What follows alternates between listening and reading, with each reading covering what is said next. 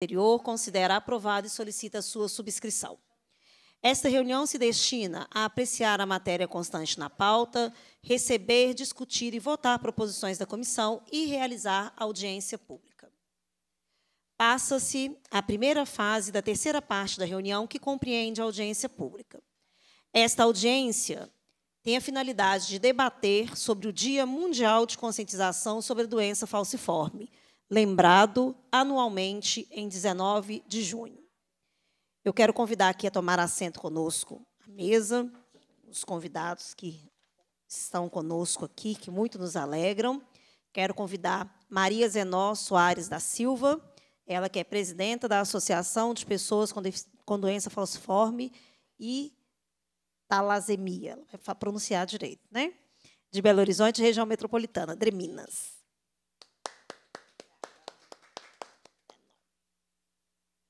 Convido também Adriana Drummond, que está aqui representando a Júnia Guimarães Mourão, que é presidenta da Fundação do Centro do Hemominas. Convido também a tomar assento aqui conosco. É, ele que é um grande amigo, pai de paciente é, de doença falciforme, Eber Eustáquio Cassimiro. Biólogo, né, Eber? E agora eu quero convidar aqui uh, as pessoas que estão conosco aqui acompanhando a nossa audiência para tomarem assento aqui conosco também é, no plenário.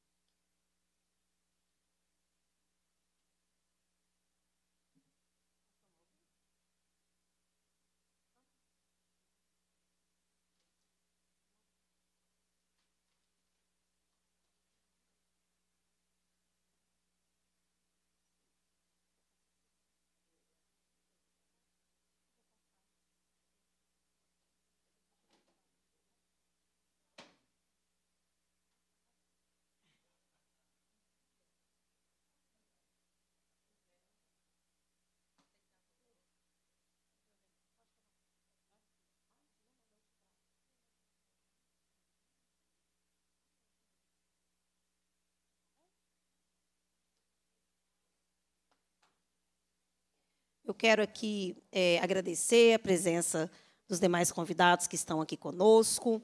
Nós temos um, um rito de funcionamento aqui das audiências públicas, então, primeiramente, nós vamos passar a palavra às pessoas que estão compondo a mesa conosco e, posteriormente, a gente abre a palavra para todos e todas que queiram contribuir tá, com é, a nossa discussão aqui. Eu quero registrar, antes de iniciarmos a audiência, que também fizemos convite oficial à Secretaria de Estado de Saúde, ao Departamento de Atenção Hospitalar Domiciliar e Urgência do Ministério da Saúde.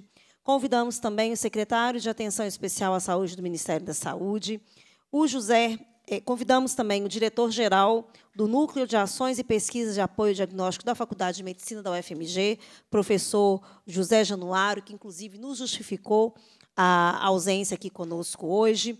E registramos também o convite feito à diretoria do Departamento de Atenção Especializada e Temática do Ministério da Saúde. Não puderam estar conosco, mas a audiência vai ser toda registrada e encaminhada para eles, todos os relatos e todas uh, as ponderações feitas aqui na audiência. Na qualidade de autora do requerimento que deu origem a essa audiência, eu vou tecer aqui algumas brevíssimas palavras para que a gente possa é, dar início, então, à nossa audiência pública. Quero aqui registrar também a presença da assessoria da deputada Macaé Evaristo aqui conosco. E dizer, gente, que é uma grande alegria recebê-las aqui, recebê-los aqui conosco, hoje na Assembleia, na Comissão em Defesa dos Direitos da Mulher, numa audiência e num momento que marca o Dia Mundial da Conscientização sobre a Doença Falciforme, que é no dia 19 de junho. É, dizer também que é muito importante trabalharmos a conscientização dessa doença que ainda é pouco conhecida, apesar de ser comum e que atingi, de atingir um número grande de pessoas no Brasil. São quase 7 milhões de brasileiros que têm doença falciforme. Hoje nós vamos falar aqui sobre conscientização, sobre tratamento, sobre sintomas, e não podemos deixar de dizer também sobre a invisibilidade histórica, Zenó, que a doença falciforme tem, e da relação da doença falciforme com o racismo estrutural, porque a doença falciforme é uma doença que acomete majoritariamente pessoas negras. São cerca de 95% da população negra que é atingida pela doença falciforme. E por anos, gente, muitos anos, não houve, e nós ainda vamos saber que se já existe, políticas públicas eficientes de atendimento às pessoas com doença falciforme. Nesse vácuo, né, entre a invisibilidade, a pouca informação sobre a doença e a ausência das políticas públicas, nós temos uma atuação forte da sociedade civil das instituições organizadas. Se elas sim se mobilizam, fazem um trabalho de assistência aos pacientes, fazem um trabalho de assessoramento às famílias, algo que é indispensável. Nós vamos escutar aqui também no relato de algumas pessoas que estão conosco. E eu quero aqui fazer um destaque à atuação brilhante e respeitosa da Associação Dreminas sobre a coordenação da Zenol. Né? Ela que tem anos de luta, de militância nessa área, desenvolve um trabalho fundamental e posso sim dizer que a maioria das conquistas que existem hoje nessa pauta em Minas Gerais e no Brasil vem a partir da atuação da Dremina sob a coordenação da Zenol. Então nós estamos aqui também para conhecer um pouco mais essa estrutura, inclusive que funciona fora do nosso estado, para buscar esse aprimoramento. Tá, Zenol? E você é uma peça fundamental. Eu também quero registrar que, durante o tratamento, os pacientes precisam de constantes transfusões de sangue e doação de sangue por parte da sociedade. Então, é possível, mesmo aquelas pessoas que não têm a doença falciforme, se ingressar nesse movimento de uma ajuda multa, fazendo a doação de sangue. E essa semana também é uma semana que a gente está celebrando o Dia Mundial do Doador de Sangue, que foi dia 14 de junho. Né? Então, por isso, é, Zenó, Adriana e Eber, para mim, era muito importante fazer essa audiência nesta semana, né? porque a gente faz uma convergência e quando a gente quer participar e, e, chamar a atenção da população, conscientizar a população, é muito importante que a gente também alie as informações. Então, uma doação de sangue ela pode funcionar para vários aspectos, inclusive para um atendimento específico à, à população com doença falciforme. Eu tive recentemente visitando o Hemominas, viu, Adriano? Nós estivemos fazendo uma visita lá, Fomos muito bem recebidos pela Juni e por toda a equipe que lá estava. E passamos lá no setor de atendimento é, as pessoas com doença falciforme. É incrível o atendimento que está sendo feito lá, carinho, a atenção, a familiaridade dos profissionais com as pessoas que tratam lá. Né? Já estávamos ensaiando, né, Eber, essa visita lá há mais tempo, mas aí a pandemia acabou atrapalhando um pouco. E eu queria assim, dizer que é muito importante que Minas Gerais conheça o modelo aplicado lá é, e que a gente possa, cada vez mais, oferecer um atendimento de qualidade para a nossa população. Quero aproveitar aqui também essa oportunidade para agradecer de público a homenagem que eu recebi é, da Deminas no quarto prêmio João Batista, né, um amigo da pessoa com doença falciforme, um evento organizado em dezembro do ano passado pela Dreminas. Eu estava em Brasília, numa atividade é, política, participando da transição do governo. Eu fui membro do grupo que trabalhou e que trabalha as políticas de mulheres no governo federal.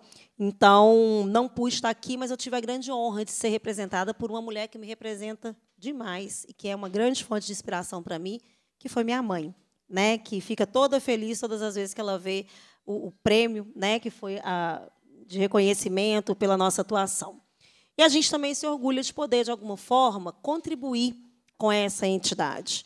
É, no ano passado, é, nós conseguimos empenhar um recurso de emenda parlamentar que foi importante para que o Dreminas desse sequência ao trabalho e pudesse assistir as famílias das pessoas com doença falciforme. Então, aos poucos, a gente vai também colaborando aí com essa perspectiva da saúde pública no Estado de Minas Gerais. Então, quero muito agradecer e dizer que, para a gente, é muito importante é, utilizarmos esse espaço do Parlamento Mineiro para conscientizar, para acolher as pessoas, as famílias, e para convocar o Estado para sua responsabilidade de atendimento pleno às pessoas que precisam.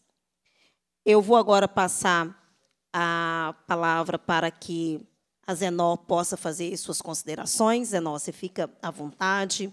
Para aproveitar esse espaço, inclusive estamos sendo transmitidos aqui pela TV Assembleia, estamos sendo transmitidos também pelos canais diversos, YouTubes, é, redes sociais inúmeras, para a gente falar sobre a doença falciforme, falar um pouco da história da Derminas, da sua trajetória nessa caminhada, enfim. Fique à vontade.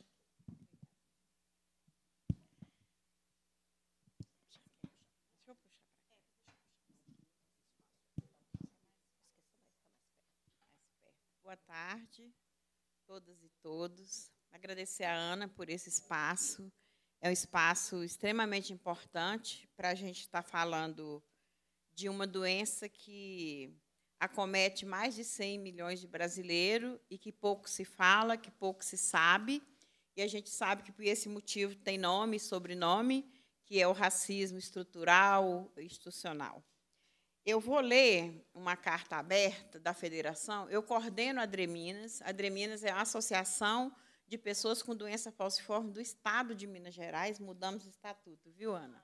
Agora, porque a gente atende os 853 municípios do, do Estado, então a gente é estadual. E eu coordeno também a Federação Nacional de Associações de Pessoas com Doença Falciforme, onde nós temos 70 associações é, dentro desta federação. A gente não tem no Brasil associação apenas em Roraima e no Acre. Nos demais estados, todos nós temos, inclusive estados que a gente tem 10, 12. Eu vou ler essa carta rapidamente. É, a história é escrita com lágrimas, dores e amores. A FENAFAL, a Federação Nacional de Associações de Pessoas com Doença Falciforme do Brasil, uma instituição sem fins lucrativos, que tem como meta a organização social das pessoas com doença falciforme, visando o, o desenvolvimento das, das potencialidades individuais e coletivas. Temos como missão contribuir para a redução da morbidade por esta doença. É divulgar sobre a doença e a gravidade dela nas escolas, em todos os espaços que se fizerem necessário, que entendemos que as políticas públicas deveriam andar juntas a mesma pessoa que está na escola, está no posto de saúde, está no CRAS. Então, é necessário transversalizar essas políticas para que elas se conversem e que, de fato, melhore a qualidade de vida dessas pessoas. A federação ela foi fundada em 27 de, de outubro de 2001, né? e a gente tem um marco no, no Brasil, na Marcha Zumbi dos Palmares, em 95, né, Denise? É, onde o, o, o movimento negro ele gritou ao governo brasileiro que algo deveria ser feito para as pessoas com doença falciforme e saúde da população negra de modo geral. A partir daí, foi criado alguns marcos é, regulatórios, a política de saúde da população negra, e a doença falciforme ela foi entrar de fato no SUS em 15 de agosto de 2005. Ontem. Na verdade, a única coisa que existia era um programa que chamava PAF, do governo Fernando Henrique Cardoso, que era Programa de Anemia Falciforme. E depois criou-se a triagem neonatal e a doença falciforme, para quem não sabe, ela é uma das doenças triadas no teste de pezinho. Mas nós sabemos, Minas saiu na frente. Minas foi o primeiro estado brasileiro a triar para a doença falciforme, em março de 98. Em compensação, nós temos o Piauí, que começou a triar para a doença falciforme em 2014. É, as dificuldades são muitas. Não existe um banco de dados no Ministério da Saúde para falar ao certo quantas pessoas têm doença falciforme. Os dados que eu vou passar aqui são dados de Minas, né? A Dreminas ela existe há 37 anos, é também uma instituição sem fins lucrativos, e a gente atende pacientes de todo o estado. Até pouco tempo ela era região metropolitana, e depois a gente teve que passar para estado, porque a gente estava atendendo paciente que vem de todo o estado. Embora a doença falciforme seja a doença de maior prevalência no Brasil, a invisibilidade dela se dá porque ela comete 95% da população negra.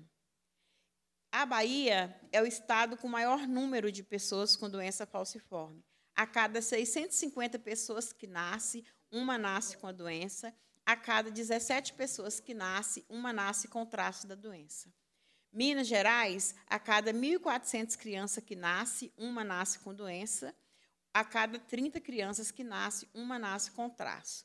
Está localizada onde ficou a maior parte das pessoas que foram escravizadas, onde tinha mais minas, onde tinha mais corte de cana, e por isso é nessas cidades, nesses estados que tem a maior prevalência do Brasil. A doença falciforme, ela comete, quando a gente, hoje no Brasil, praticamente a gente não precisa mais discutir raça e classe. Né? Às vezes, nas minhas palestras, as pessoas falam assim, Zenó, o que você tem contra o 13 de maio? E aí eu respondo, eu não tenho nada contra o 13 de maio, eu tenho tudo contra o 14 de maio porque foi no 14 de maio que as pessoas ficaram nos guetos, nos becos, na rua, sem comida, sem roupa e sem nada. Então, é contra o 14 de maio que eu tenho. E aí, se a gente tem 95% de pessoas com doença falciforme que são negras, e é uma doença invisível, ausência de política pública, isso tem nome e sobrenome. Não tem como você falar de doença falciforme desfocando do racismo, principalmente o racismo institucional. Porque a gente chega nos serviços de saúde, os profissionais que estão ali, que juraram salvar minha vida, se eu não tiver um pouco de entendimento do que eu tenho, da patologia qual eu tenho, eles vão tirar a minha vida. Porque eles não acreditam no relato da minha dor. Eu sou tratada, sou tarjada, eu e mais 100% dos pacientes, como viciados em morfina. É assim que nós somos tratados, não só em Minas Gerais, mas em todo o Brasil. Em Minas Gerais, a gente tem uma situação favorável, porque nós temos um diagnóstico de excelência, o NUPAD é, da UFMG é a melhor triagem neonatal do mundo, considerada a melhor do mundo. É lá. Mas nada basta um diagnóstico bem feito se você também não tem acesso a uma assistência de qualidade. Mas, na parte hematológica, nós também temos um atendimento de excelência né, da atenção terciária na Fundação Hemominas. Porém, Ana, a doença falciforme, ela, as comorbidades que ela traz são muitas. Complicações renais, complicações cardíacas, priapismo, é, as questões pulmonares, são várias. E aí você não tem acesso às especialidades que você precisa. E o grande gargalo, o grande gargalo está na urgência e na emergência. A gente não tem hospitais de referência é, com profissionais capacitados para nos receber, para entender essa dor, que a gente chega, só procura o serviço de urgência depois que a gente já fez tudo que tem que ser feito, porque a gente é muito bem orientado pela Fundação Hemominas. Se a dor começou, está nesse grau, você vai fazer isso, você vai fazer aquilo, você vai fazer aquele outro. A gente só procura a urgência quando acaba esses recursos que a Fundação Hemomina nos proporciona. Porque a Fundação Hemominas é um SUS que funciona. Né? E aí a gente vê que é possível funcionar. Então, a gente não tem no estado de Minas Gerais nenhum hospital de referência, nenhum, em qualquer lugar. É, eu tenho muita honra de ter meu nome na lista de presença da oitava Conferência de Saúde, ser uma das fundadoras do SUS, que eu tanto luto e defendo. Mas, ao mesmo tempo, por muitas vezes eu tenho que ficar barganhando o SUS, porque na doença falciforme o que diz quem vive e quem morre é o tempo. Tempo vai dizer, vai viver ou vai morrer. Porque se o profissional não acredita, ele não sabe como cuidar, faz uma, uma conduta errada, aquele paciente pode ir a óbito, um óbito que seria evitável. O tempo do atendimento é a conduta do médico. Então, você chega no serviço de urgência e emergência, você espera três, quatro, cinco, seis horas para você ser atendido. E aí, para você entrar lá dentro, você ser atendido e ouvir do profissional, você não está com dor, essa dor sua é emocional. Ok. Pode ser que algum estado emocional me desencadeou uma dor, mas naquele momento eu estou com dor. É uma dor que é, é uma dor do infarto. É um infarto é uma dor em todos os ossos, é um trator passando em cima dos seus ossos, que você não tem nem como explicar essa dor. E você ouvir do profissional assim, não é porque vocês são viciados em morfina. Isso não é um caso isolado. Isso é 100% dito em algum momento na vida de quem tem a doença falciforme, dos pais e das mães que têm filhos com doença falciforme. Esta é a realidade de quem tem a doença falciforme. 92% das mulheres com doença falciforme são negras e são mãe sol. E por quê? Porque a criança nasce com doença falciforme, as idas e vindas são muitas idas e vindas, as internações são longas, prolongadas, e nós vivemos em um país onde o patriarcado ainda domina. Né? Então, o pai vai embora e fica essa mãe para cuidar desse filho. Que a doença falciforme não é considerada uma deficiência. Então, ela também não tem direito ao benefício de prestação continuada. Então, 98% das famílias com doença falciforme é, vivem com o Bolsa Família. Como Bolsa Família. 72% não tem saneamento básico. 93% das pessoas com doença falciforme, eles não concluíram os adultos, eles não concluíram o ensino fundamental, porque internavam quatro, cinco, seis meses e aí a evasão escolar se deu. Temos hoje apenas 16% com curso superior depois da lei de cota. Antes da lei de cota, nós tínhamos duas pessoas no Brasil com curso superior. Esta é a realidade das pessoas com doença falciforme. E aí não estou falando da realidade apenas de Minas Gerais. Estou falando da realidade do Brasil. É, como pensar em doença falciforme? Como pensar na pessoa com doença falciforme, no seu familiar, se ele não tem um colchão para dormir? uma coberta para cobrir. Eu entrevistei um adolescente de 12 anos para saber a perspectiva, o que, que ele esperava e tal. Meu sonho é ter um cobertor. Meu sonho é ter um cobertor, uma criança de 12 anos. Né? Então, assim, uma família que não tem o benefício de prestação continuada, que vive com Bolsa Família, que não tem saneamento básico, que vive nessa condição de miséria, é, eu tenho uma paciente que ela já deix, nos deixou e ela falava comigo assim: é melhor tomar morfina com dor de alegria do que com dor de tristeza. Ela morreu com 15 anos. Porque um dia ela caiu na piscina e eu falei com ela: Ana Luísa, você não pode cair na piscina.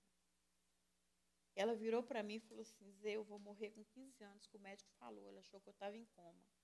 E eu prefiro sentir dor de tomar morfina com dor de alegria do que com dor de e com 15 anos e 4 meses ela foi embora.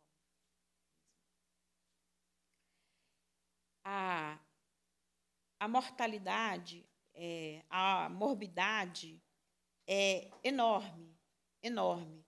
Quando chega aí seus 10, 12 anos, já começa as necroses na cabeça do fêmur, do úmero, já limita, limita os exercícios, limita um monte de coisa que essa criança não pode fazer que esse adulto também não pode fazer. A gente não, não consegue trabalhar no pesado porque não dá conta devido à dor, que é uma dor, uma dor horrorosa, é uma dor que não, dá, não tem nem como é, descrever essa dor, até porque a dor ela é subjetiva, né? cada um tem a sua. Mas eu posso te garantir que a intensidade da dor é igual para todos os pacientes. Para todos os pacientes. Eu tive diagnóstico tardio. É, minha luta começou na doença falciforme já adulta, porque eu era muito doente, mas eu não sabia o que, que eu tinha. Então, eu tive um diagnóstico tardio. E fui obrigada pela vida a aprender tudo de doença falciforme. Não sou médica, sou cientista social. Eu, mas eu sei tudo de doença falciforme. Então, eu posso morrer, mas não vai ser por uma conduta errada. Não vai, porque eu sei o que, que deve e o que não deve e oriento todo mundo, né? oriento os pais, põe os pais doidos. Não, faz isso, é agora, não pode esperar, porque eu sei que 80% dos óbitos poderia ser evitados se nós tivéssemos, de fato, uma política pública que atendesse às demandas que essas pessoas vivenciam no seu cotidiano. Então, conseguir algo elementar, que é uma consulta médica, é uma luta perene. É uma luta perene. Entendeu? Temos em Belo Horizonte um atendimento melhor. Eu não posso deixar de reconhecer aqui. De luta, muitas lutas, ações públicas e muitas ações públicas. É, a gente tem hospital de retaguarda, a gente tem hospital de urgência para adulto, tem hospital de, de urgência para criança, tem hospital de retaguarda, tem é, tempo para as consultas de, de média e alta complexidade e, e, exames. No Estado, não temos. No Estado, temos hemominas. A gente tinha um plantão que era fundamental para salvar vidas, que funcionava 24 horas. Qualquer médico de qualquer lugar de, ligasse lá, olha, doutor, estou com um paciente assim, assim, assim, como eu devo proceder? Era orientado, era feito e salvava a vida dessa criança ou desse adulto. Hoje não tem mais e aí acho que você pode contribuir em relação a isso. E hoje não tem mais desde quando, Zenon?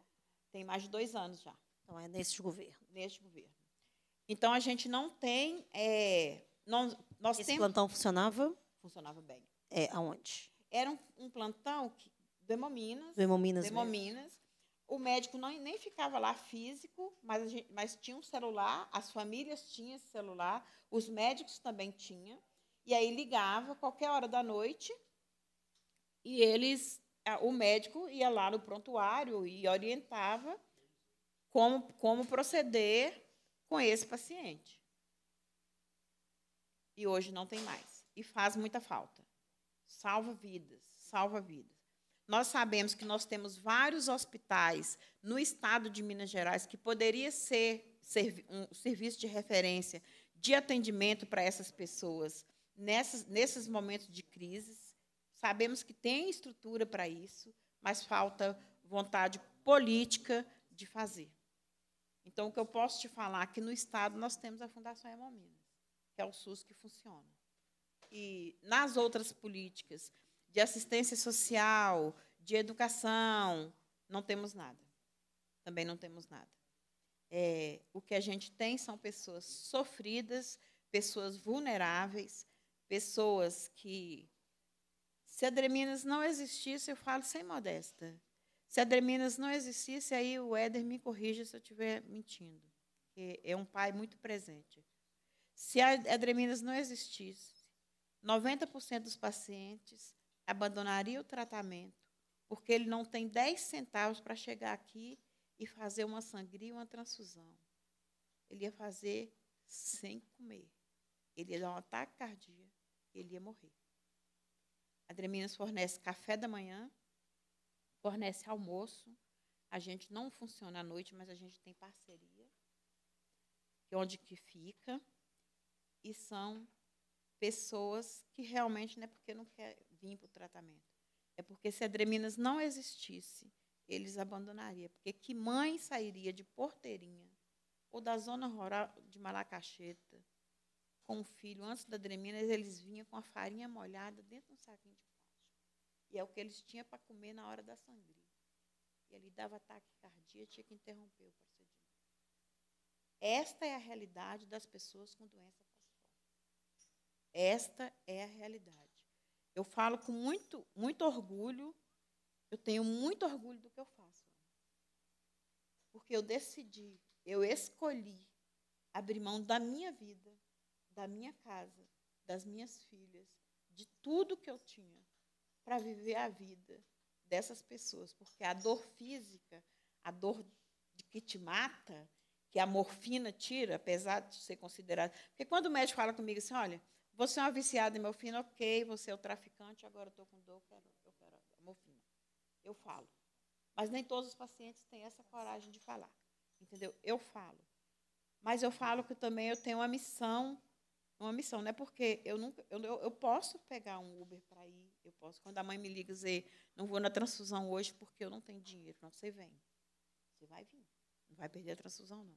Porque essa é a realidade de 98% das famílias com doença falciforme. Esse aqui eu quase arranca o bolso dele de, de pedir, né? Mas é assim, é assim. Então, assim, para mim hoje eu estou muito, tô muito grata de estar aqui de falando isso, porque às vezes as pessoas, como a doença falciforme, ela é invisível, porque o racismo ele é cruel. O racismo ele é o estupro da alma. Então, quando o médico fala que você não está com dor, que você está viciada em morfina, a morfina vai tirar sua dor física, mas a dor da alma, a dor do racismo, a dor da discriminação, não vai tirar. Toda vez que eu precisar ir naquele serviço de urgência, eu vou lembrar. Vou chegar lá, o médico vai falar que eu estou viciada em morfina. Eu vou ter que falar que o usuário não é, não é crime, que ele quer o bandido e precisa da morfina. Já vou, já vou, já vou nessa neura. Eu vou, já vou assim. E já chego para ele, quando, quando me tratam assim, eu já recuso também.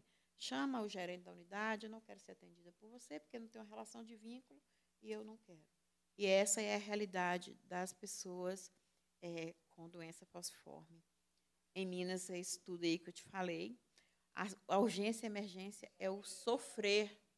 A urgência e emergência, Ana, é uma coisa tão grave, mas tão grave, mas tão grave, que eu fico assim, noites sem dormir, noites, noites sem dormir. Porque o médico me liga, lá de Serra Verde, perto de Almenara, Zenó, estou com criança que deu AVC, Zenó, estou com mais de 48 horas esperando a vaga de CTI. Aí lá vai a Zenó, que defende o SUS, SUS. O Andrezinho, que é gestor hospitalar de Belo Horizonte. Ô, Dezinho, pelo amor de Deus, meu filho, abra a de BH para mim. Manda a macro negar, manda a macro negar, nega lá que eu vou aceitar. E essa é a luta diária da Dremi. É isso.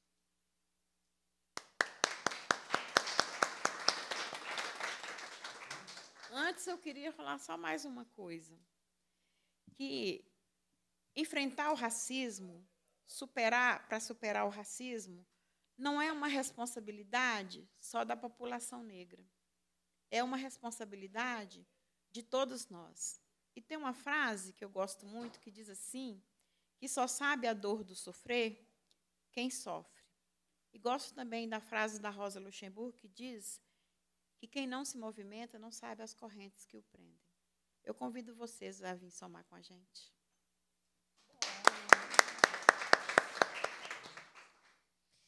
Nossa, Zé, nós, sim, uh, nós que agradecemos muito a sua existência no nosso meio. Né? Não é uma questão de presença. Gente, eu estou com a voz meio, meio impactada aqui pela, pela friagem, então estou um pouco rouca. É, e a gente tem que te agradecer a, a existência, Zenó, porque diante de uma realidade né, que impacta tantas vidas no Brasil, em Minas Gerais, e não se falar sobre isso, né? Essa não é uma, não é uma, uma, um assunto que se tem, que se trata com naturalidade, que, que ocupa o espaço nas casas legislativas, seja aqui na Assembleia, seja nas câmaras municipais. Gente, não, esse assunto não é um assunto tratado aqui, né? Então, quando você vem com a sua disponibilidade, com a sua história de vida, com os grandes, importantes feitos decisivos para a vida dessas pessoas aqui no Estado de Minas Gerais, através da Dreminas, uma parceria fantástica também com a Hemominas, que nós vamos escutar também um pouquinho, traz todos esses dados, né, gente? Vocês perceberam aqui é, a enormidade de informações e de impactos que tem né, na vida das pessoas. É, eu, como deputada mulher, negra, né, uma das primeiras mulheres negras a tomar assento nesse espaço da Assembleia Legislativa de Minas, é, em 2019, foi a primeira vez na história do nosso Estado que mulheres negras tiveram assento aqui na Assembleia. E nessa nova legislatura, que iniciou agora nesse, nesse mês de fevereiro, nós ainda somos muito felizes, porque além de termos conseguido reeleger as três mulheres negras eleitas em 2018, nós trouxemos mais uma, que é a Macaé, né? e que está é, aqui conosco também com um compromisso. E aí nós temos um compromisso, é, enquanto ocupantes desse espaço decisivo da política, que é tirar da invisibilidade o nosso povo que nós, não só nesse importante assunto da doença falciforme, mas em vários outros aspectos, sociais, econômicos, de desenvolvimento, de violências, é, nós estamos invisibilizados, estávamos, porque agora a nossa responsabilidade e o meu mandato tem o compromisso de dar voz e de dar vez para aqueles grupos e para a parcela da população que historicamente ficou ilhado. Muitas vezes, Zenó, às vezes as nossas assessorias aqui perguntam, mas deputada, nós nunca ouvimos esse assunto aqui. Eu falei, então vocês querem me dizer que nós estamos conseguindo, então, romper essa invisibilidade, porque se não escutaram, agora vão escutar e nunca mais vão abandonar.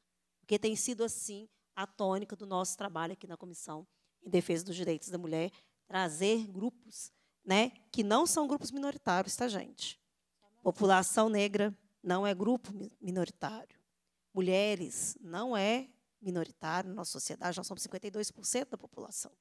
Nós somos invisibilizados e minoritários nos espaços de decisão, especialmente decisão política, e no acesso às políticas públicas. Aí nós somos, porque nós somos, na verdade, é, abandonados e esquecidos pelo poder público. Então, aqui a gente tem esse compromisso, né, e ouvir todos esses dados aqui para a gente é extremamente importante, até para a nossa população compreender a, a seriedade que nós temos que ter é, nesse assunto perpassam várias outras políticas, né? políticas de benefício, como aqui o BPC. Já queria até pedir que a nossa equipe a providenciar um requerimento para a gente encaminhar ao Ministério da Saúde, para pensarmos aqui na inclusão, é, não sei se cabe, Zenó, mas você, como conhecedora profunda, a inclusão da doença falciforme dentro da, das, das patologias de deficiência para garantir essa assistência. Né? porque é extremamente necessário. Tá? Então, nós já vamos pedir aqui um requerimento para essa inclusão. Já quero aqui solicitar também o encaminhamento à Secretaria de Estado de Saúde para a retomada desse plantão, para que ele possa voltar a atender a necessidade da, das pessoas e das famílias. E durante a nossa conversa aqui, nós vamos falando mais algumas coisas. Estou estarrecida com o dado apresentado aqui pela Zenó 80% dos óbitos poderiam ser evitados se tivéssemos políticas públicas de verdade. 80%, gente, é um número muito alto. A gente não pode tolerar esse abandono. Completando, Ana, que eu não falei, que desses 80% é, são jovens de 14 a 30 anos. E aproveitando aí a deixa que você falou da Macaé, eu, a Macaé é companheira de luta da doença falciforme de muitos anos, muitos anos. É tanto que nas UMEIs de Belo Horizonte, as crianças entram com prioridade. E é muito bom ter mulheres como você, como a Macaé, como as outras que estão aí. A gente tem certeza que a gente vai fortalecer e que muitas vidas serão beneficiadas. Com certeza, Zenó. É... Muito importante isso, gente. Tem mais alguns dados aqui que a Zenó trouxe, né, que a gente fica é, extremamente absurdado aqui com os impactos. Mas nós vamos passar agora um pouquinho para o Hemominas falar para a gente, Adriana, sobre o trabalho que vocês têm desenvolvido lá, né, sobre essa trajetória, sobre o, né, a realidade da, das pessoas com doença falciforme lá. Muitas pessoas também no estado de Minas Gerais não conhecem o trabalho né, que vocês desenvolvem. Então, deixo aqui para você, franca palavra, para você poder aprofundar no trabalho desenvolvido lá pelo Hemominas. Eu trouxe uma apresentação para colaborar e com as palavras da Zenó. Eu acho que é importante a gente aproveitar esse momento. Né? Primeiro, agradecer a oportunidade de estar aqui, representando a Fundação Hemominas, e dizer que essa é uma oportunidade da gente disseminar um pouco do conhecimento, um conhecimento um pouco teórico que eu trouxe, mas eu vou tentar falar com umas palavras bem simples para ficar bem fácil o entendimento, porque é a partir deste conhecimento que a gente vai conseguir levar as pessoas levar as famílias, levar os profissionais de saúde para respeitar, para cuidar, para tratar da forma é, com, com, respeito à pessoa com doença falciforme. Então, é através do conhecimento que a gente dissemina informação sobre o que é anemia falciforme, sobre o trabalho que nós realizamos dentro da Fundação Hemominas. Pode passar, por favor. Então, a Fundação Hemominas ela está, é, desde 1985, né, é, referência como tratamento no diagnóstico e no, no diagnóstico dos pacientes com anemia falciforme, com hemoglobinopatias no geral e coagulopatias. Ela foi criada forma, né, com uma parceria do Ministério da Saúde, né, da Secretaria Estadual de Minas Gerais e da Universidade Federal de Minas Gerais. Hoje nós temos 11 unidades espalhadas pelo estado para atender esses pacientes de hemoglobinopatia é, no estado de Minas Gerais. Pode passar, por favor? É, os último, último levantamento que nós temos, nós temos mais ou menos aí quase 8 mil pacientes é, com doença falciforme no estado de Minas Gerais, que são atendidos e cuidados, né, assessorados pela Fundação Hemominas. Pode passar, por favor? Mas, então, o que é a doença falciforme? Né? É, é uma, então, o que é a doença falciforme? É um distúrbio genético né, mais frequente dentro do Brasil e no mundo. É uma doença hereditária que é passada dos pais, né? tanto o pai quanto a mãe carrega esse gene da hemoglobina, que é uma, uma hemácia que sofreu uma mutação. Né? A doença tem esse nome porque a hemácia ela tem um formato de foice, de meia-lua, por isso vem o nome da doença falciforme. Né? No, no slide apresentado, a gente vê essa hemácia a redondinha é a hemácia que a gente considera uma hemácia normal e a em formato de meia-lua de foice é a hemácia falciforme. Pode passar, por favor?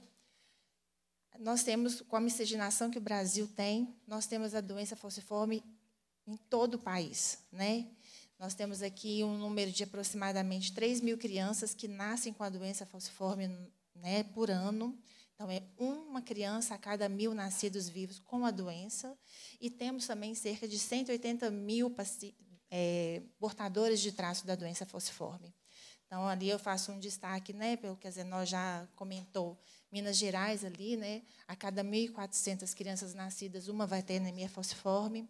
E a cada 23 nascidos, um vai ser o portador dessa anemia, é, portador do traço falciforme, que a gente chama né, como nós já mencionou, né, ali o destaque pela, pelo estado da Bahia, o destaque ali para o sul né, do país, em Santa Catarina, que também tem um número grande desses pacientes. Pode passar, por favor. Adriana, deixa eu só fazer uma, uma interrupção aqui, que vai entrar ali nos traços, talvez você vai falar agora. Eu ia te perguntar quais são esses traços. Vou falar. Eu trouxe só um desenho esquemático, porque acho que vai ficar mais fácil para a gente compreender. Então, como a doença é uma doença que passou dos pais para o filho, então os pais precisam de ter uma a parte da genética dele, né, o traço falciforme é a, o gene acometido, né, com a falsização, né? Então esse formato de meia lua, né, parte dessa hemácia tem que estar na mãe, parte dessa hemácia tem que estar no pai. E aí o que, que acontece? Quando essa união desses genes, né, quando os pais, a mulher engravida, a gente tem ali 25% de chance de ter a criança com a doença falciforme, 50% de chance da criança nascer com o traço da anemia falciforme e 25% de chance dela nascer uma criança com hemácia normal. né? E aqui eu vou fazer um destaque para o traço falciforme, porque ele não é caracterizado uma doença. A pessoa que tem o traço da anemia falciforme não tem anemia, não tem fadiga, ela tem uma vida normal, né? ela não tem nenhum tratamento diferenciado. E aproveito para contar um pouco da minha história, porque quando cheguei na Hemominas, eh, tem 18 anos de Hemominas, 18 anos que eu trabalho especificamente com os pacientes de anemia falciforme.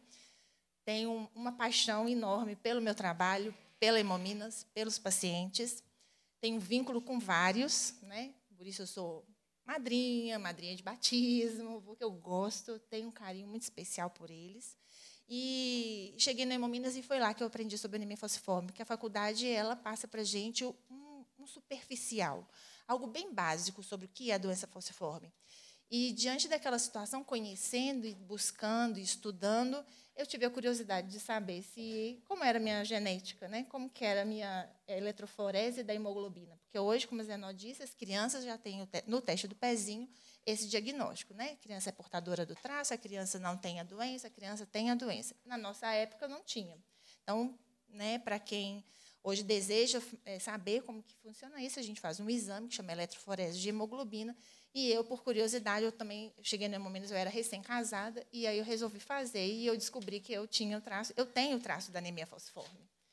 E aquilo, eu falei assim, nossa, como assim, né? De onde vem, né? Quem passou isso para mim? Então ninguém na minha família sabia, né? Corri atrás para minha irmã fazer, para minha mãe, para o meu pai, para eu descobrir, descobri que era da família da minha mãe e que veio do meu avô. E aí a história, né, a gente já começa a ver o fio da meada. Aí eu, é um primo que fala: ah, eu doei sangue e me chamaram no Hemominas porque falaram comigo que eu tenho traço da doença falciforme. Hoje eu tenho dois filhos, um filho meu tem o traço da doença falciforme e, e, a gente permanece não só na caminhada de Hemominas, mas na conscientização de todo mundo que precisa saber sobre a doença e saber sobre as escolhas. Porque naquela época, com o meu conhecimento e com a oportunidade que eu tive, eu tive a opção de escolher engravidar ciente do risco que eu corria. Porque eu fiz o teste no meu marido e o meu marido não tem a, a, a hemoglobina S. Então, por, pelo fato do meu marido ser aquele 25% de chance da hemoglobina, da hemácia AA, né, que a gente chama, né, hemácia normal, eu pude ter filhos sabendo que não nenhum deles poderia ser acometido pela doença. Então, eu tenho em casa um exemplo de dois meninos, um com hemácia normal e outro com traços da, da anemia fosforme que herdou de mim. Né? Então, acho que isso é muito importante a gente frisar, porque a história continua da doença falciforme, né? E começa por aqui. Pode passar, por favor. E a gente falando parece simples, né? Como que um, um, uma hemácia com formato de meia-lua vai fazer tudo isso num, numa pessoa, né? Mas não é simples, é uma doença complexa, é uma doença sistêmica e ela pode ser devastadora como quando ela é mal conduzida, quando ela é maltratada. Né? Então, só para a gente entender, as hemácias em formato de meia-lua, ela faz obstrução ali naquele vaso sanguíneo. E aquela obstrução ali cessa o, o sangue né, de passar normalmente pelas células, diminui o oxigênio de dentro do sangue. Né? Então, a gente chama de hipóxia. E essa hipóxia ali, ela vai fazer muitas crises de dores. Né? É, todo treinamento que a gente faz, que a gente tem a oportunidade de falar a gente sempre ressalta para o profissional, para o aluno, para quem quer que seja que a gente está falando, respeitem a crise de dor, respeitem a dor do outro. A dor realmente é subjetiva, cada um sabe o limite da sua, mas todo paciente de doença falciforme que a gente conversa, a gente tem oportunidade de ouvir todos os relatos que a Zenó trouxe. Ninguém acredita em mim, eles acham que eu chego gritando porque eu quero passar na frente. Eles acham que eu chego gritando e chorando para poder chamar a atenção. Eles acham que eu sou um viciado. Mas a gente, é, pelos relatos que eles contam, a dor é insuportável. Começa com um formigamento, começa com umas fincadas e de repente aquilo alastra pelo corpo, como a Zenó falou, um caminhão passando em cima de você, né? Então, tudo isso é promovido pela aquela obstrução daquele vaso, pela diminuição do oxigênio que tem ali, pelo rompimento das hemácias que faz hemólise, e isso acarreta principalmente a questão da dor. Mas como no desenho ali a gente vê que ao longo do tempo, ele também esse vaso, né, essa obstrução pode acontecer em qualquer órgão do nosso corpo. Se para lá no cérebro, a gente tem uma AVC. Se para no pode fazer uma trombose, fazer um AVC Né?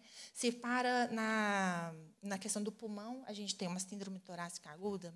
Se nos homens, muito comum priapismo, né? E as pessoas às vezes aquilo causa muito muita dor, muita inibição, né? Priapismo é um é o, a questão é o a ereção involuntária, né? Então, e ele não tem comando sobre o priapismo, né? Então, assim, muitas das vezes acontece muito no adolescente, né? Na, e isso é uma coisa é, que chama atenção. E isso eles morrem de vergonha, muitas vezes até mesmo com a gente no próprio Hemominas quando eles chegam. Aquilo tem que ser preservado a intimidade da pessoa, tem que ser abordado com atenção, com carinho, porque é o que precisa de respeito dessa dor, né? E a gente só respeita se a gente tiver conhecimento, se a gente souber e se a gente puder é, divulgar e, e explicar. Muitas vezes eu falo que a gente é uma formiguinha levando conhecimento para outra formiguinha e essa formiguinha tem que levar para outra. Porque a importância de estar aqui falando hoje é precisamos de treinamento em massa. Não só na responsabilidade da Fundação Hemominas, que é responsável por a disseminação desse treinamento também, mas como de toda a saúde. Né?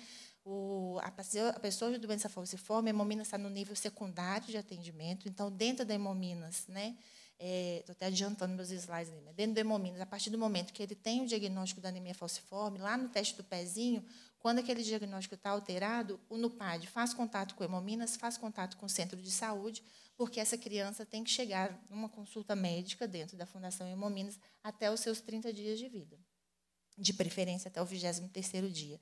E lá ele vai ser acolhido pelo hematologista, onde ele vai, a, a, família né, vai receber as primeiras orientações sobre a doença, vai ser informada sobre aquele diagnóstico, sobre o tratamento que ela vai, que essa criança vai, vai passar a ter, e ali ela tem contato com uma equipe multidisciplinar, né, com assistente social, com psicólogo, com dentista, com fisioterapia, farmácia, enfermagem, né, onde a gente faz esse acolhimento desse paciente é, naquele momento da admissão e o resto da vida, porque ele é o tempo todo acompanhado por nós.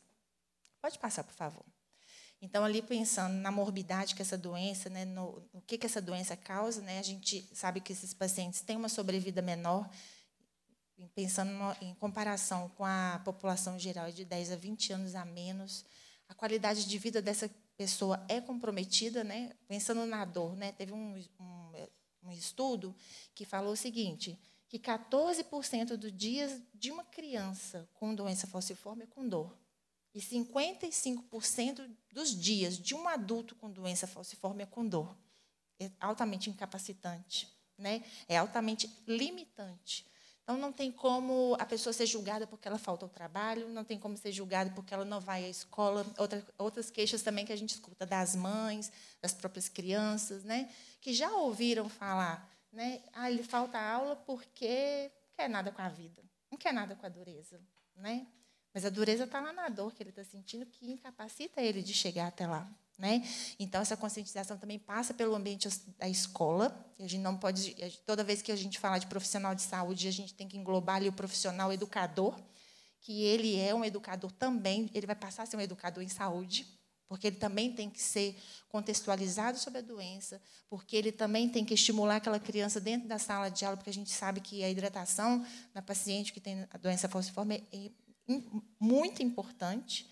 Então, o professor tem que estimular a hidratação oral, mas também tem que permitir para sair para ir ao banheiro, né? Porque uma coisa vai medir na outra. Então, assim, se ele não sabe, ele vai ter dificuldade disso.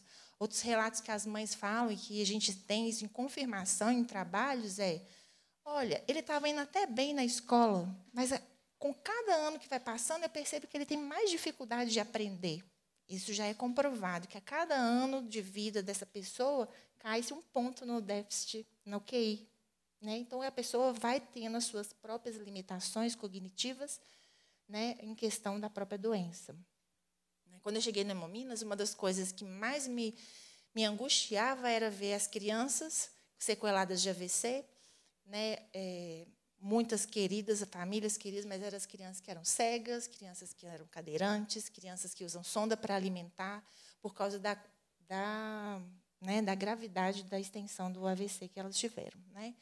É, outra coisa importante que a gente vive e que a doença, a progressão da doença, são as úlceras. Né? As úlceras são as feridas que abrem na pele, geralmente na, nos membros inferiores. Né?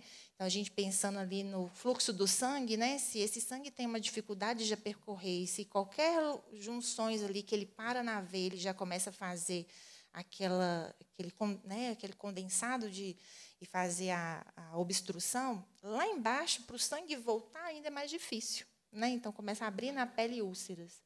Hoje, um grande dificultador que a gente tem é tratamento para as lesões de pele. Né? Nós temos uma parceria com um número limitado de atendimentos dentro do Hospital das Clínicas para os nossos pacientes que têm úlcera, mas não é o suficiente, porque são muitos. Né?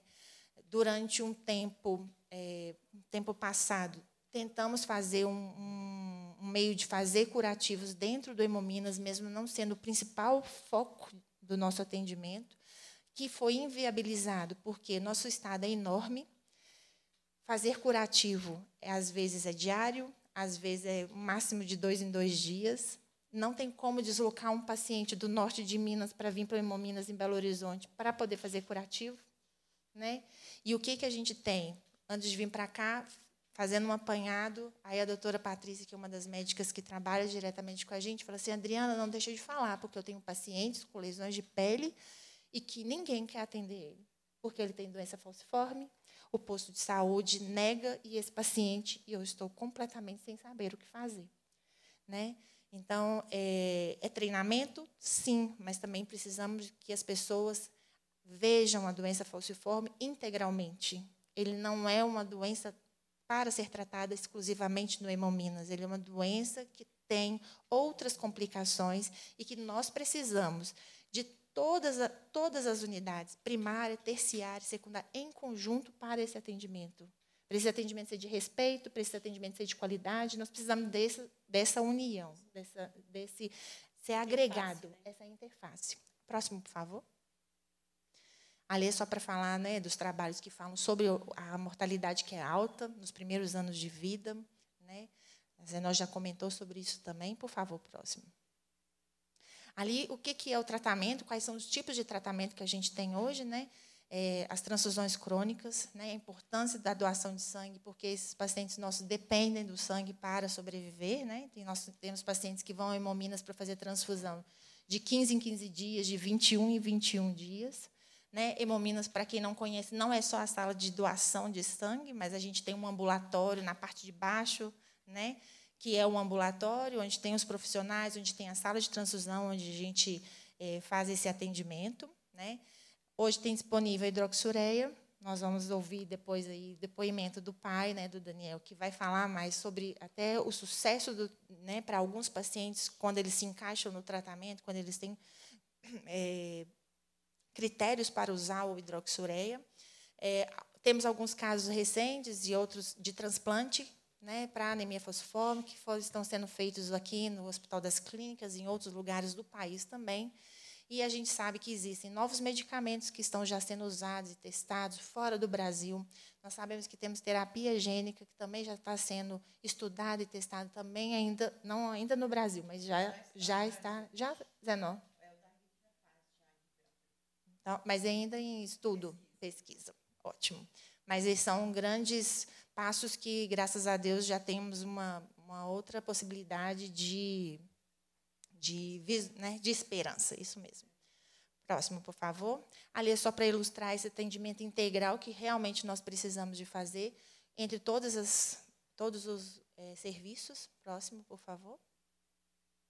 E focar porque o paciente de doença falciforme, ele realmente ele precisa de um cuidado integral de uma equipe multiprofissional. Não é apenas o médico com o atendimento dele, com as consultas, com os medicamentos, mas ele vai precisar de todo um suporte ali, né, de apoio da fisioterapia, né, para esse fortalecimento, para esse desenvolvimento dele, né, a questão do serviço social extremamente importante para poder é, orientar, para poder encaminhá-lo, para poder é, né, ensiná-lo o caminho melhor percorrer, o menos difícil.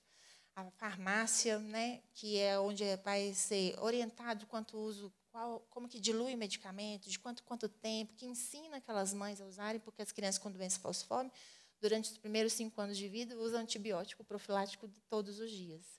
Então, assim, tem um papel importante ali da farmácia para ensinar aquela mãe a diluir, para ensinar o horário né, melhor para controlar e não deixar de administrar algo que é tão importante para eles.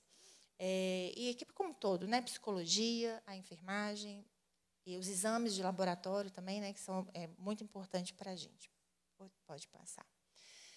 É, e, como o Zenó disse, a gente tenta fazer um trabalho, tenta não, fazemos um trabalho dentro do Hemominas de conscientização do paciente, da família, sobre a doença falciforme, sobre a necessidade e a importância do seu autocuidado. E, mas isso não é só o suficiente, né? A gente treina pessoas todas as vezes que Hemominas promove qualquer tipo de treinamento dentro do, da instituição ou fora dela, a gente vai ensinar para as pessoas sobre doença falciforme, sobre crise de dor, sobre os cuidados necessários, mas a gente enfatiza para que o paciente tenha um poder, né, para poder levar o conhecimento para quem não tem, porque a gente sabe que muitos é, médicos e equipe né, de saúde não vão ouvir o paciente, como a Zenon falou, né, ele, ele me escuta porque eu tenho coragem de falar, mas a gente tenta empoderar esse paciente e essa família, porque a gente sabe que ele vai poder deparar com profissionais que não estão preparados para poder é, atendê-lo. Mas aqui é só dando uma noção geral, né, que o paciente ele precisa ter para melhorar a qualidade de vida dele, ele precisa de ter um autocuidado eficiente, com uma hidratação oral frequente, uma alimentação boa. Ele pode, né, enquanto ele conseguir né, der conta de fazer uma atividade física.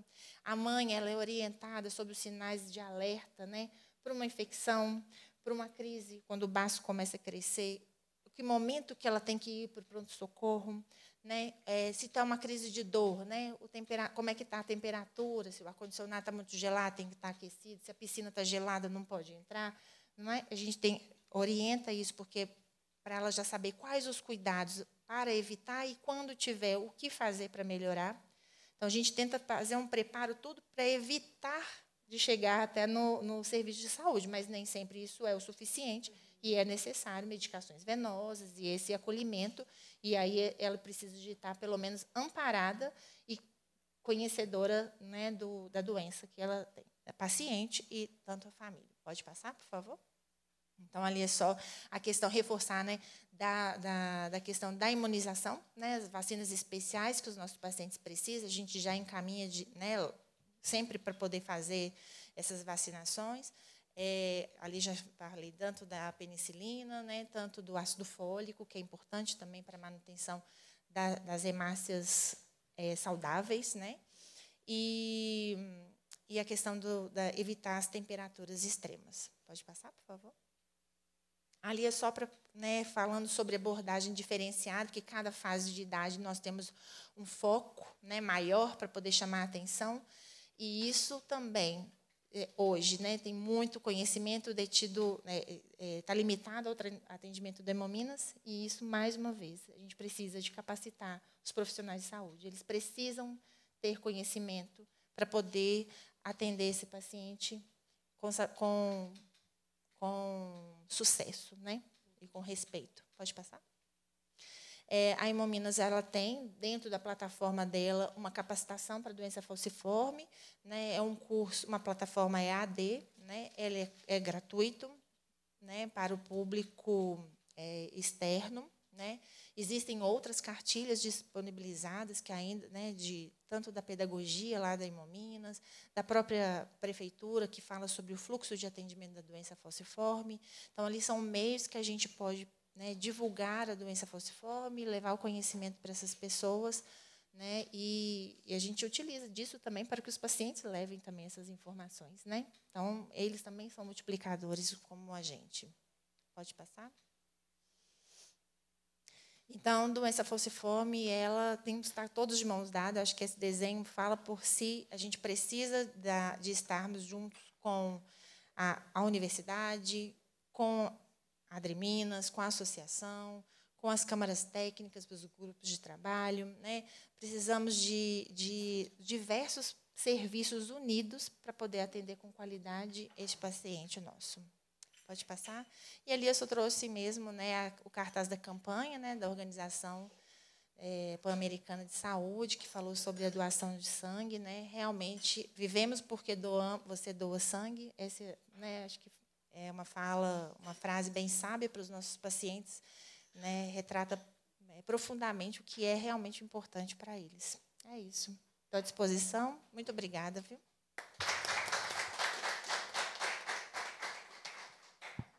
Pois é, gente, são muitas informações né, que precisam realmente serem conhecidas aqui em torno da questão da doença falciforme. Você falou, Adriana, sobre o exame que você fez, né, para identificar.